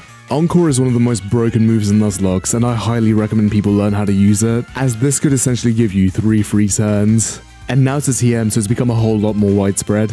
One more click of the win button. Next is Scovillain, so I switch into Tatsugiri. God, look at him. On the Fire Blast, which it eats. Dragon Pulse does over half, and Crunch actually brings us really low. One more Dragon Pulse puts Scovillain down. Toedscruel's up, so I switch back into Baxcalibur, kind of forgetting about the rocks. But we only get hit with the Power Whip. It's a grass ground type with a weak defense, so nice shot gets the one shot. Cloyster's out, and I figure it can't really do much to us, so staying for a crunch, doing nothing as Cloyster sets up a light screen. Another crunch and Cloyster uses liquidation. Interesting. Well, we got this. Glaive Rush. And Cloyster survives. It uses liquidation, which will now do double damage. And we survive. Why do I insist on making these stupid plays? One last crunch. And Arven, Mabosstiff just cheated death and you're already trying to get him killed. Level 63. Mabosstiff intimidates Baxcalibur and we need to switch. But I just realized that he's about to terastallize, and I don't really know what I can switch into. Tinkaton's the safest option, but I don't really know what sort of coverage my Mabosstiff has. I haven't used one. As expected, it terastallizes into a dark type, meaning it's about to nuke us with dark moves, for which we only have one resist. Thankfully this time it goes for an even weaker play rough. Now we have the perfect move for the situation, but the thing is that I don't know if I outspeed, so I might look like an idiot. I stay in, and I'm an idiot. Mabosstiff outspeeds hit Firefang, which Tinkaton survives. We lock him into that with Encore. Okay, actually not the worst situation. I switch into Skeledirge on the Firefang, and now we have two free turns. The first turn, I use Will-O-Wisp to burn Mabosstiff and halve his attack. And then I realize that I can terastallize myself to get rid of the dark weakness. As you can tell, I really haven't been using terastallization all that much. This also powers up Torch Song, which in turn also raises our special attack. With the burn and our loss of Ghost, we're surviving a crunch, and despite the defense drop, we can end this battle with a final Torch Song. This actually was intense towards the end. I was just kind of making up things as I went along, but that could have gone a lot worse. My boss all leveled all of my mons by a significant amount, and it hits hard as well. Despite me skimming over him, Arven's actually really grown on me, and I really like that battle. I think it's cool how he uses all of the Pokemon that he had during our Titan battles. Alright, that's pretty much confirmation that becoming the champion isn't the end, and that we have more story as the end game. But I wonder who he could be talking about. I feel like that's a spoiler. Well, at least they aren't treating us like we're stupid, and that's something that Game Freak's usually very fond of. Battling Arven took us into the night, so on to the next phase. Please don't kill me, Penny. Clive's joining us for emotional support, and I've connected the dots. Why he seems so suspicious to me this entire time. He's wearing shorts and a zip-up blazer. What were you thinking, Clive? Wait, why are we fighting Clavel? Clavel leads with Oranguru, and I start with Baxcalibur. Oh no, level 60. Don't tell me he's stronger than Arven. We start with the crunch doing half and get hit with the foul play. Another crunch gets the two shot. Next is a Abomasnow, so I switch out to Skeledirge as it sets up an Aurora Veil. This prevents Torch Song from killing, but we get a boost. Blizzard does nothing at all. But then freezes. I can't switch out on an incoming Blizzard, so I stay in. And Skeledirge gets the turn 1 thaw out. Torch Song melts Abomasnow. Next is Polteageist, and I could have stayed in, but I bring out Kingambit on the Shadow Ball. I don't think Polteageist has anything, so we stay in, but get burned by Will-O-Wisp. Kowtow Cleave does barely a third. This activates weak armor, and I just remember that the Veil was still up. But with that down and the defense drop, we can outspeed hit Sucker Punch, finishing Polteageist off. Next up's Houndoom, so I switch into Tatsugiri on the Fire Blast, which it eats. Tatsugiri can survive a Dark Pulse, so I stay in and hit Muddy Water, getting the one shot. Oh no. Don't say it. I switch into Baxcalibur on the Giga Drain and then get the one shot with Icicle Crash. And finally we're on Quaxly's final stage, Quaquaval. And my god, why is he fabulous? I don't know what I was expecting, but it wasn't that. The issue is that now I have no clue who to switch into. I'm not sure who's actually capable of taking one of his attacks and then being able to survive another. A Bolivar, my only water counter, also has the normal type, which is weak to fighting. I switched out to Tatsugiri, and yeah, he wasn't surviving a brick break. Man, I really wanted to use Tatsugiri. And it also started raining. I bring out Tinkaton and lock Quaquaval in, which allows me to safely bring out Skeledirge to burn it with Will-O-Wisp. With the Encore ended and the water move imminent, I bring out a Bolivar who eats Quaquaval's signature move, Aqua Step, which also raises its speed. And then our Bolivar's ability triggers, setting up a grassy terrain. With Quaquaval burned, we survive the Brick Break and a terrain boosted energy ball gets the one shot. That was actually a really well-rounded team. Losing Tatsugiri sucks though, and I've never really had a chance to use him. But I guess I can bring the other water type. Uh, right, Penny. Okay, there's another battle. I'm actually really glad that she isn't just a standard meat character. Oh, Clive's back. Alright, Penny's great. Penny needs Lumbreon, and I stick with old Reliable. Umbreon gets priority on Baby Doll Eyes, lowering our attack, and Icicle Crash does barely 25%. I switch out to our Bolivar on the Dark Pulse, activating grassy terrain. Umbreon tries lowering our attack, but we use the special Dazzling Gleam, still barely doing anything. And I've given Umbreon some free recovery as well. I figure I should just go for some passive damage with Leech Seed and start pelting away with Terrain Pulse. With Umbreon low, I switch out to Kingambit on Foul Play, and Leech Seed finishes Umbreon off. Next is Flareon. Are we actually to get an evolution team? I switch out to Dondozo on the Flare Blitz, and it gets burned. Of course. Then we get our attack lowered, and Aqua Tail does nothing. But this gave me an idea. I switch into Tinkaton on Baby Doll Eyes, and switch right into Baxcalibur on Flare Blitz, doing a lot. But Baxcalibur has a special new ability that raises its attack when it's hit with a fire move. And now that Flareon's baited into using an attacking move, we can outspeed to finish it off with the crunch. Next is Leafeon, and we can- oh god, I thought it was slower. And we survive, and get the one-shot with Icicle Crash. Hey, did you know? Vaporeon dies to a single Glaive Rush. And since Jolteon will outspeed, I switch into our Bolivar getting hit by a Thunder, then setting up grassy terrain again. We survive another Thunder, which paralyzes us, and then we can't move. Jolteon hits another Thunder, but this time our Bolivar can move to hit a boosted terrain pulse. Not getting the kill. Wasn't even close. Jolteon hits the fourth Thunder in a row, a 25% chance, but we can move past it and our Bolivar finally gets the KO. And finally we're on Sylveon. I switch into my own fairy as Sylveon terastallizes into a fairy type. My VV power. Even with the boost, Moonblast does nothing. Sylveon lowers her attack, allowing it to survive the win button, and I can just lock it in with Encore. With no ability to attack, a final click of the win button wins us the battle and brings an end to the Starfall Street storyline. These last few battles have been pretty good considering how easy the early to mid game was. We get some final backstory on Team Star and why Penny wanted to disband the team and why she sent us to do it. And we get a cute little cutscene with the bosses meeting Big Boss, with Penny learning that the real gang war was the friends that we made along the way. All in all, even with how over the top dramatic and kinda cliche it was, I actually really like the storyline. Not every villain story needs to be world threatening, and I like that it was more personal, kinda like in Sun and Moon. Arven's story was slightly weaker, but his character grew on me, and again, I'm just glad it didn't take up more time than necessary, which some games like to do, like Sun and Moon. All that's left for us is the Elite Four. Hopefully the game manages to end strong. We've gotten some insight on the levels of the Elite Four, but considering we have a champion battle included, I'm willing to bet that Geeta's levels are going to be higher than Arven's and Penny's. I mean, she's the champion. Their levels were 63, so I think that's a good level for us to train to. But there's one thing I want to do before training. Look, we're like at the end now. I don't really want to waste time raising a new Pokemon when there's still one that I barely got to use. So this is incredibly rule breaking, but you've already watched far enough knowing that this title was clickbait. I sacrificed 10 Pokemon to bring Tatsugiri back to life. Look, these Pokemon can have the spotlight during a different playthrough. It wouldn't feel right raising them all the way to level 60 just for the league. Not really understanding how they perform using them throughout the game, and just getting to use them at their strongest. Is this cheating? Yes. Back to the Bamboo Forest to get those final few levels on all of my Pokemon. Oh. Oh. I even sacrificed a shiny in the name of the great Tatsugiri. I then use up all my remaining rare candies, leveling everyone up to level 63, with Tinkaton getting an extra 1 to 64, and Skeledirge getting 2, bringing it to level 65. After teaching some TM Star Pokemon, we can make the treacherous trek to the Pokemon League for the very first time.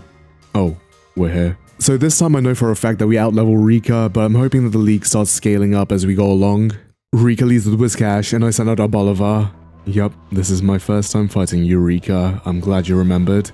We don't outspeed Whiscash. We get hit with Blizzard, which activates Grassy Terrain, and Energy Ball gets the one-shot. Next is Camerupt, so I switch into Tatsugiri on the Yawn. I figure I can be put to sleep, so I stay in, getting the one-shot with Surf. Donphan's next, so back into our Bolivar, who dodges the Stone Edge. And after tanking a Poison Jab and getting poisoned, Donphan goes down to an Energy Ball. Oh. Into Tinkaton, who's immune, and Foul Play picks up the kill. Onto Dugtrio, and yeah, I don't know what this thing's gonna do. Win button. Oh no. Why are you doing this to me? Finally, it's Clodsire. I switch into Baxcalibur as Clodsire terastallizes into a ground type while it protects. I'm sorry, buddy. And that's Rika. Yeah, okay, I'm over leveled, but I don't think that team really could have done much. I might have lost a Bolivar at most. Yeah, what I said. The next one in the league is Poppy. Wait, are we really staying in the same room? Oh, that's kind of disappointing. I mean, we had something similar with Sword and Shield, but at least that was a massive stadium. This is just kind of bland. Well, whatever. Something cool is that we can actually still access our boxes, so that's good info to know for a certain other challenge I might do. Is Poppy the first child that we've had on the Elite Four? I mean, we had Acerola, but I don't think she was a child. But I'm basing that on her looking older than our character and her being a trial captain. And we were like 11, so maybe she was. Poppy leads with Copperajah and I send up Baxcalibur. Okay, not the best matchup. Into Skeledirge on Heavy Slam. Skeledirge outspeeds getting the one shot with Torch Song. Skeledirge picks up another kill. One more. Magnezone survives and sets up a light screen halving our attack. Goodbye Magnezone. Oh look, we have one of those as well. Look, our attack is halved, but we also have 4 boosts. Sorry Tinkaton. And that's Poppy. We literally got through our whole team with a single fire type attack. I mean, it's a good fire type attack, but I thought we were past this. Leave that back in Kanto and Johto. Yup, this is the room where we're doing all of our battles. Larry! Okay, sorry. I don't know what I was complaining about. Finally good to see something interesting happen in this Elite Four. Everyone knows you, Larry. No, Larry, you're literally the best thing about the Elite Four so far. I mean, I am sad that normal types missed another chance to be on the Elite Four, but I'm sure Larry's not going to disappoint. Larry leads the Tropius and I send out Baxcalibur. Flying is actually the second perfect type for Larry. You're already a better Lance. Okay, I mean, Larry, look, I like Tropius as much as the next guy, but it's not very good. Aw, and you even kept your buddy. I mean, I don't know why this can also be your ace, but I'm glad it's on the team. Baxcalibur got hit with Intimidate lowering its attack, and this thing has close combat, so into Skeledirge. Bravebird does less than half, and Torch Song just misses the kill. I know a close combat isn't coming, so into Kingambit on the Brave Bird. The recoil damage finishes Staraptor off. Next is Altaria, so switch back into Baxcalibur, who gets hit with a flamethrower, also raising its attack. That works out perfectly. A 4 times effective Ice Shard gets us the one shot. We're now faced with Oricorio, who's now been on both of the only two Flying Elite 4 members, this time in his pom-pom form. I mean, it's cool, but what's it gonna do? And finally, it's Oh no. Why is the Elite Four trying to remind me of my mistakes? I mean, that's very fitting for Larry. I might have forgotten that Flamigo was also a fighting type, but Baxcalibur outspeeds and gets the one shot with Icicle Crash, so technically I played well. And that's Larry, the final Elite Four member.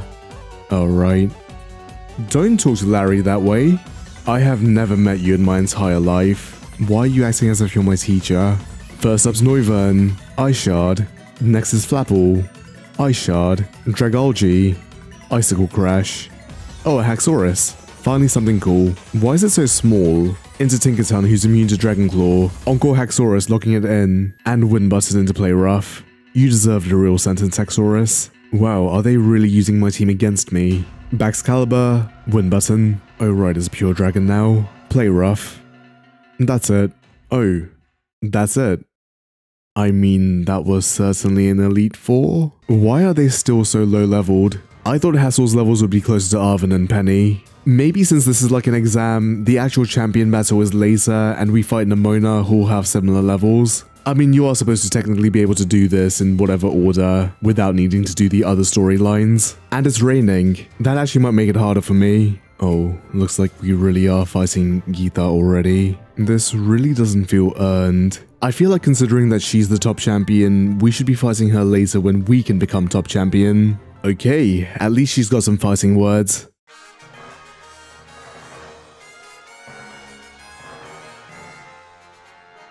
Geeta leads with Espathra, and I takes back Excalibur. Oh, come on, don't say that. What? Level 61. Her first Pokemon's level is 61. That's weaker than Penny's lead. Okay, maybe it just scales differently. Espathra starts off with a Dazzling Gleam, doing less than half, and Baxcalibur hits back with a Icicle Crash, leaving Espathra in the red. I thought this thing was a flying type. Ice Shard finishes it off. We're already on Kingambit, and they really are just using my team. Supreme Overlord boosts its attack, but it's only one mon that's fainted, so it shouldn't be too bad. I switch into my own Kingambit on the Iron Head, and despite the level gap, Geeta outspeeds hit Kowtow Cleave, not doing much. A single low sweep proves the better Kingambit. Alright, I kinda liked how condescending that was. Avalugg. Why does a champion have Avalugg? What the actual f is this thing gonna do?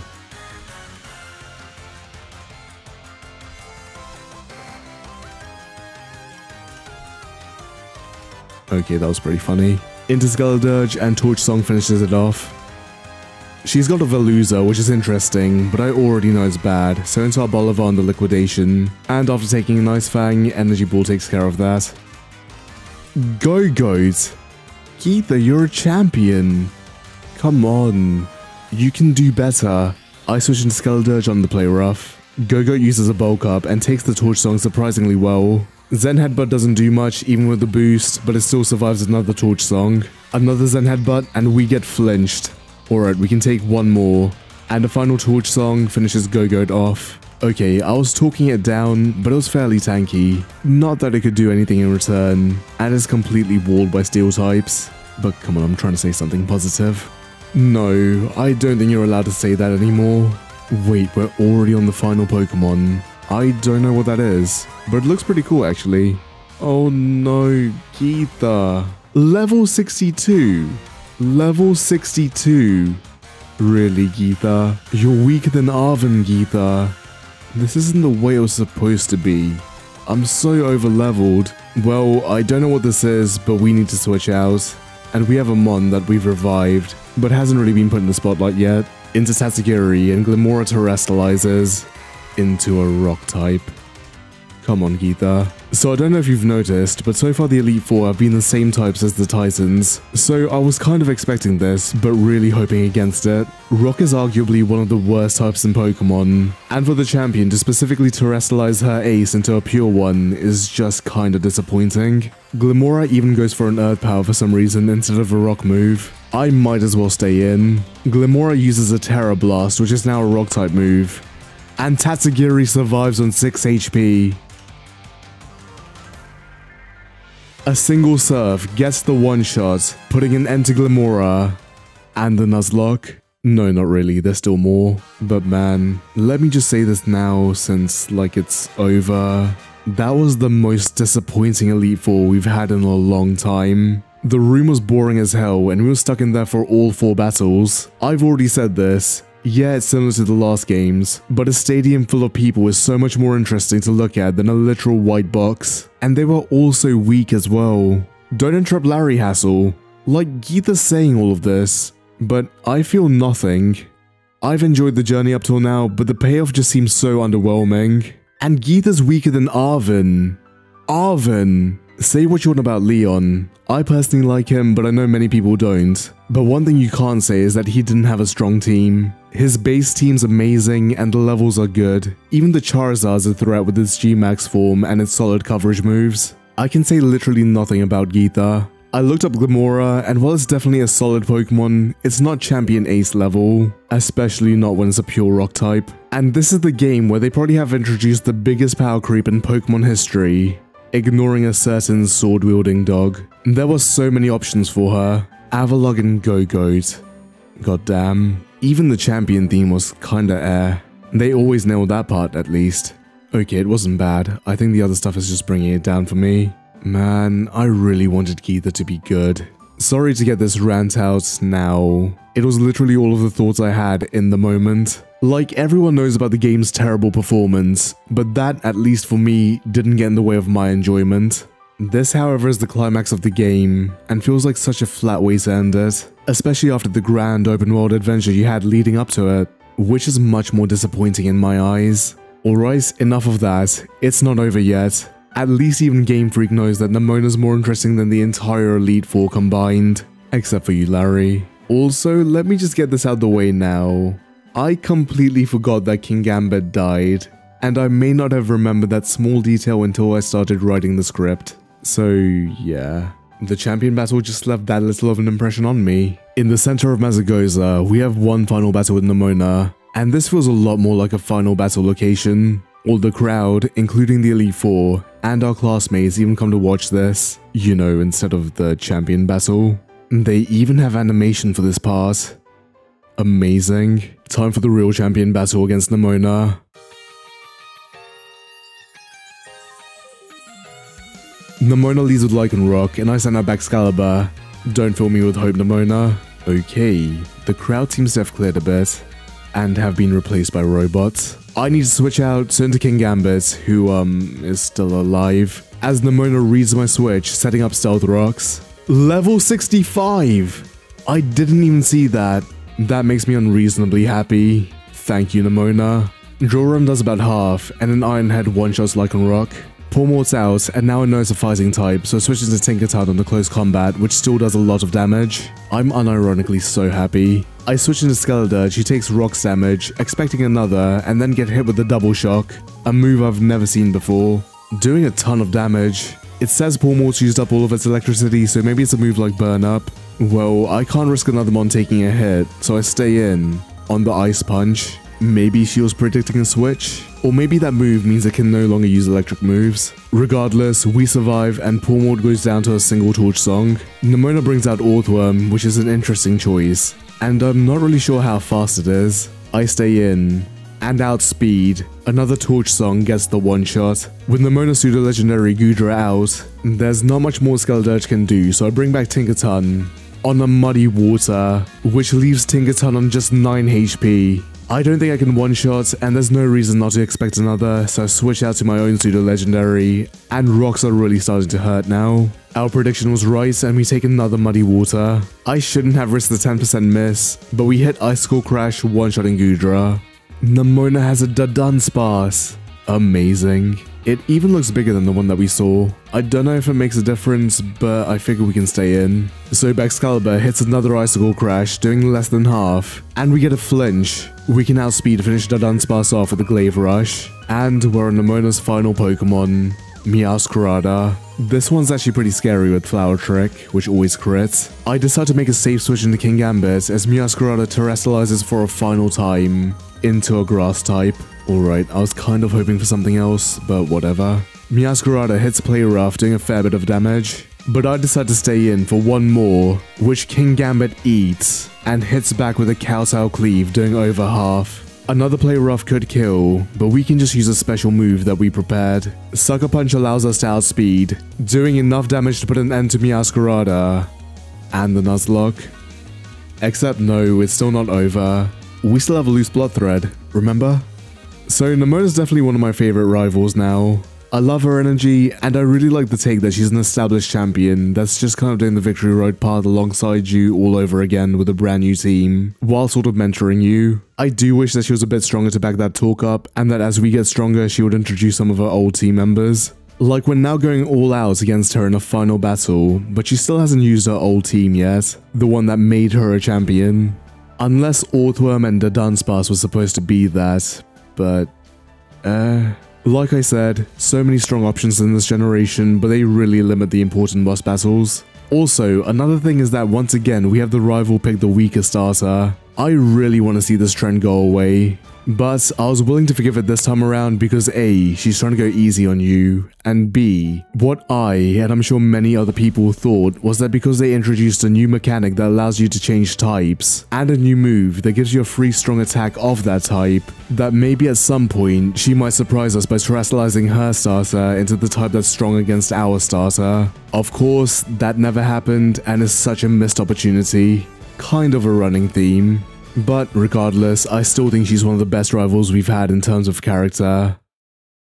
And that's all of the main storylines wrapped up. But wait, we still haven't had a credit sequence yet. So the Nuzlocke is still technically not over. And that's because there's still one storyline left, the final one, and that is heading into the Great Crater of Paldea, Area Zero. Back to Medali, home of our favorite Larry, and we can follow the third part that heads up the mountain, eventually leading us to a gated tunnel to an elevator-like construct that looks like it's pulled right out of the Abyss. Now for a crater that we're reminded constantly of how dangerous it is. This feels kind of unguarded, like a kid from Medali could stumble upon this while playing hide and seek. Into the gate, we meet up with Nemona and Penny for some skydiving, and Arven tries to kill me.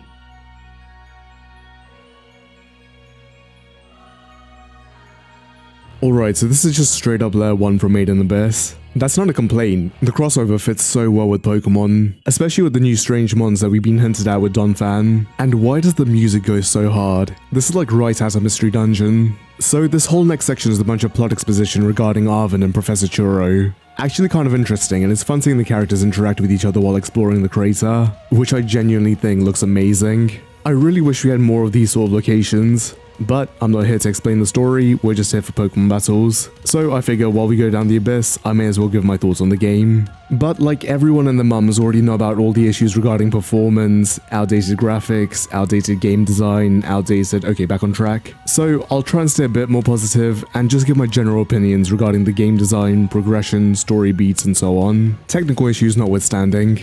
And I'll do it as a compliment sandwich, or lasagna, or something else that has multiple layers. Because believe it or not, I actually have good things to say about the game as well. Compliment onion. And the first thing I'll say is that I like all of the important characters, which is rare. I was actually somewhat interested in all of their storylines, and they never felt annoying or too one note, even if they were. And I actually really enjoyed their battles. They weren't the most difficult, but they still felt rewarding. The dialogue between the Mona, Arven, and Penny was also fun to read while going deeper in the crater. But that brings me to my first bad point. Now, I'm a big advocate for the fact that the Pokemon games have always been easy, and people's misconception that the newer games are easier come from the XP share, and or some nostalgia from finding the games difficult when they were kids. Aside from a couple of battles in Emerald and maybe Clair and Whitney, people grossly exaggerate how hard the earlier generations were. Like that's a rant I'll save you from in this video, but I've got some strong opinions to say the least about that claim.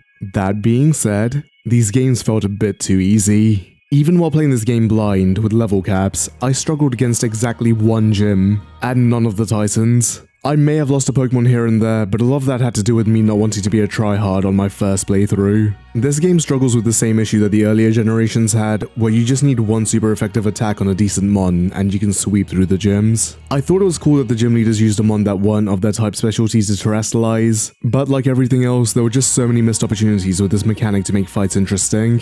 Iono was genuinely the most interesting one, with her terastallizing her Mismagius into an electric type with no weaknesses. Just off the top of my head, imagine the grass gym leader having an ace with the flash fire ability. That could have been such a cool subversion, especially if you picked Fuecoco. And she was the third gym leader. Why didn't they take some time to come up with some more interesting strategies like that? Larry's unironically an exception, as Staraptor with a normal boosted facade could hit like a truck.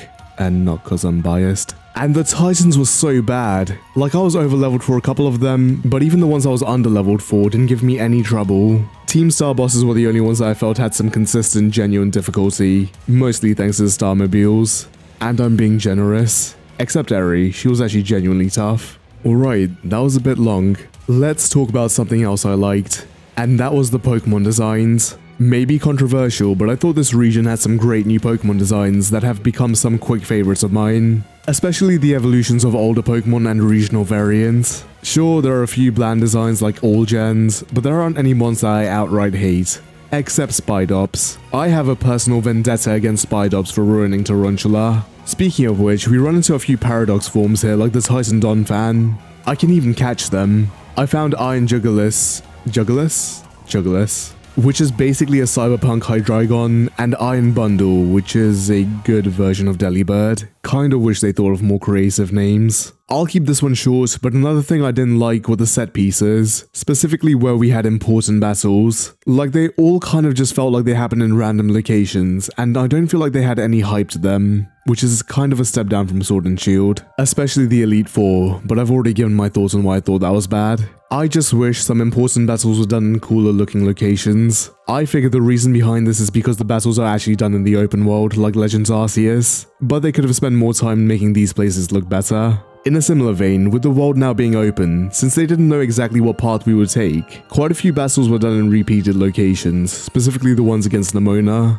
We would typically have to fight in the gym stadium that we were just about to challenge, because they didn't know how to naturally implement her in the open world. So we don't really get any important battles in places like caves, forests, snowy mountaintops, or at the end of Victory Road. But despite the quirks regarding that, the decision to go open world was amazing. This is absolutely the direction Pokemon should go in, and riding around on Miraidon, I'm bound by invisible walls and people that are dancing for no reason and will disappear for no reason, felt great you know, technical issues notwithstanding. If we're gonna explore a region, it would make perfect sense for us to go anywhere. Like in Sword and Shield, we literally had a railway. Why couldn't we visit any other towns or cities? Plus, being able to go wherever we wanted just made that adventure feel so much more free. It doesn't feel like we're on rails, destined to go wherever the game needs us to activate progression flags, even if in reality Game Freak still doesn't trust us to make our own decisions. And with that, I will leave my final bad point, and in my opinion, the absolute worst thing about this game, even more than the technical issues.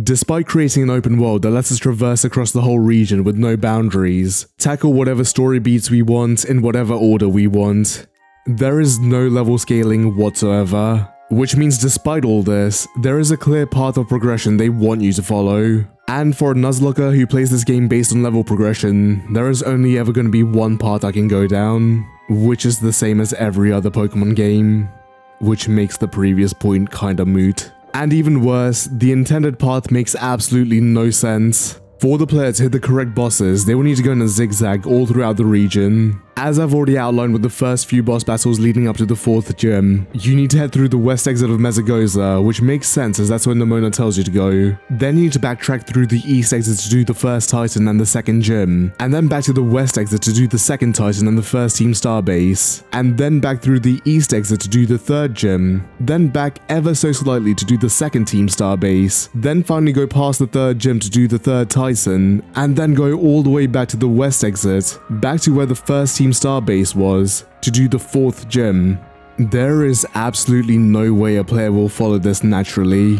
What's gonna happen is that they'll follow one path, steamroll the first boss, maybe struggle with the second and third bosses, level up to handle them, maybe decide to take the other route, and then find themselves in a position where they've just made the next four bosses into absolute jokes by being overleveled like crazy. Which wouldn't make sense from their perspective as they just followed the path. Literally all they needed to do was scale the boss battles. While preferred, they don't have to scale the wild Pokemon and trainers, the bosses would have been enough. And the absolute worst part about all this that makes me upset is that they've already done the hard part, actually accounting for if you do things out of the intended order. All they needed to do was create a few different teams for each boss, which gets selected depending on how far in that particular storyline you are. Like they don't have to be complicated picks. This is Game Freak. It's not like they create competitively thought out teams for each bosses anyway. Just have a pool of 4 Pokemon that they pick from depending on what stage you're at, and scale their levels accordingly.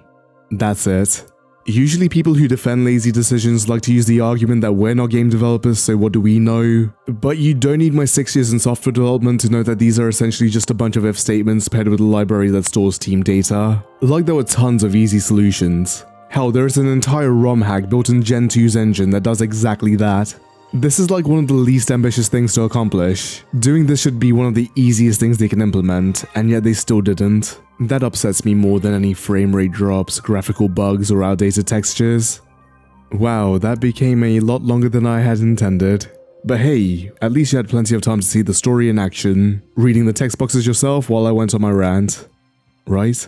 Didn't I say something about wanting to stay more positive? Well, we finally made it to the depths of the abyss, and we had a glimpse of what injured Miraidon in the first place when we met him. Another Miraidon. Nemona absolutely can't read a room, and we need to fight a horde of Paradoxmons to the lab where Turo resides. This is pretty straightforward, but it gives us a good excuse to ditch our friends while we meet with the Giga Chad himself. Here we learn that Turo, the one that we've been talking to all this time, is actually an AI, with the real one having been killed in an accident.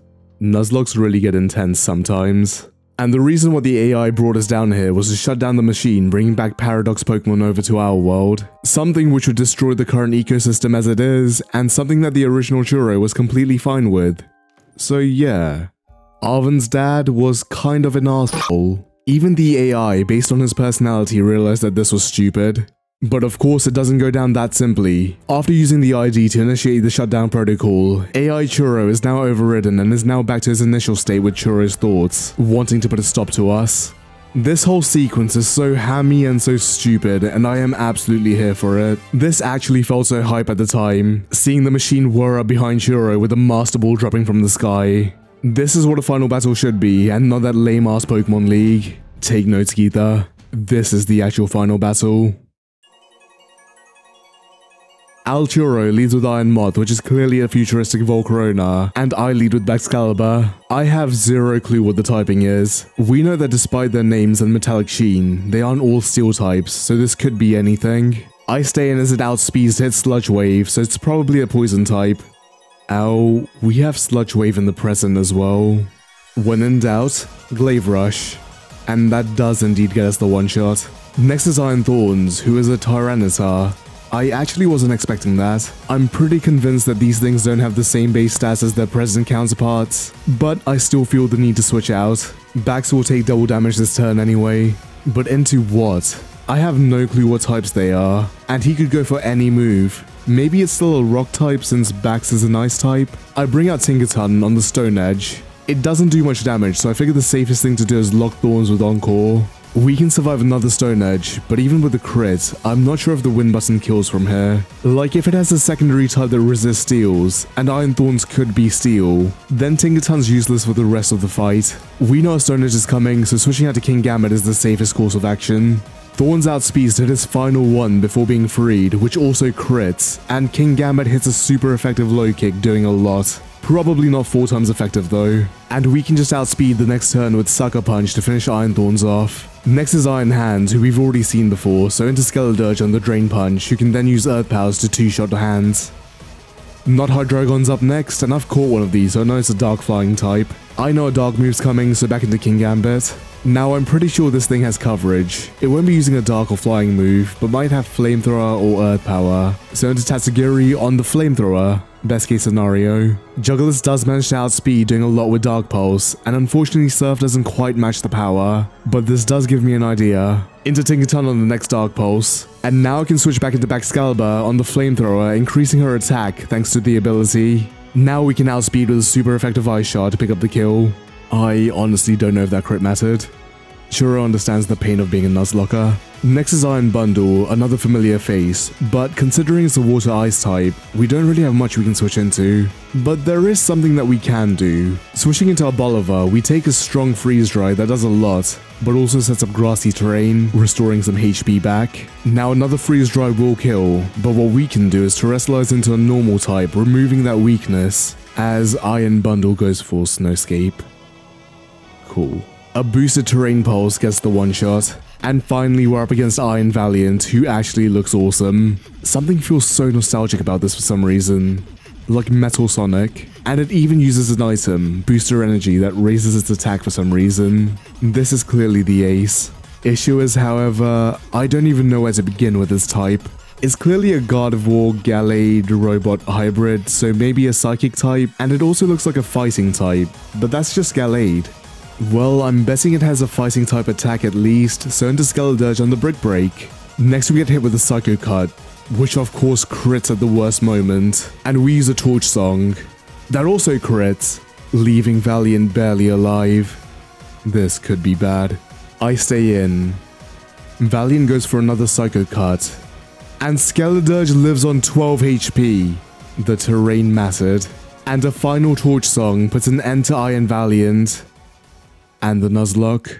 For real this time. Now this is a final battle. This is what the other final battles should be like. Trainers using clearly busted Pokemon. Like I took a look at the Paradox Pokemon stats, and they all have stats with a base total of 570. That's as strong as Ultra Beasts. And Turo has 5 of them. Oh, and the sixth one, Iron Valiant, has a base stat total of 590. Pretty much a pseudo-legendary and all of their stats are almost min-maxed like Ultra Beasts. Depending on your matchup, this could go really bad. All the better. Well, there is actually another final battle with our Miraidon finally gaining the confidence to face up to the other Miraidon that was apparently competing for territory with, but this is a battle that we're programmed to win, so we don't really care about that. AI Turo reveals to Arven that his parents are dead, refuses to elaborate, leaves. Truly a Giga Chad. Why did they make Arven's story so tragic? Like I genuinely feel so bad for him. But they did make his character a lot more interesting than I initially thought when we first met him, so cheer up Arven. The death of your parent wasn't meaningless, it made you interesting. I'm not good at pep talks. Penny was also really cool, and I'm glad that she was actually strong in terms of story and not just some meek kid that lets everyone walk all over her and somehow ended up in power.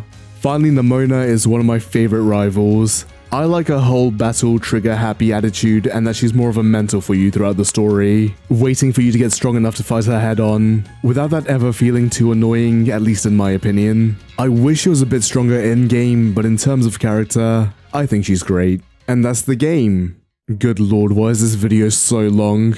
To finish up my compliment sandwich, lasagna, ogre, despite all of its flaws, I still had tons of fun playing through this game and see a ton of potential for replayability and challenge runs. I truly do think that deep within the technological mess that this game is, there is a great game hidden underneath waiting to be realized.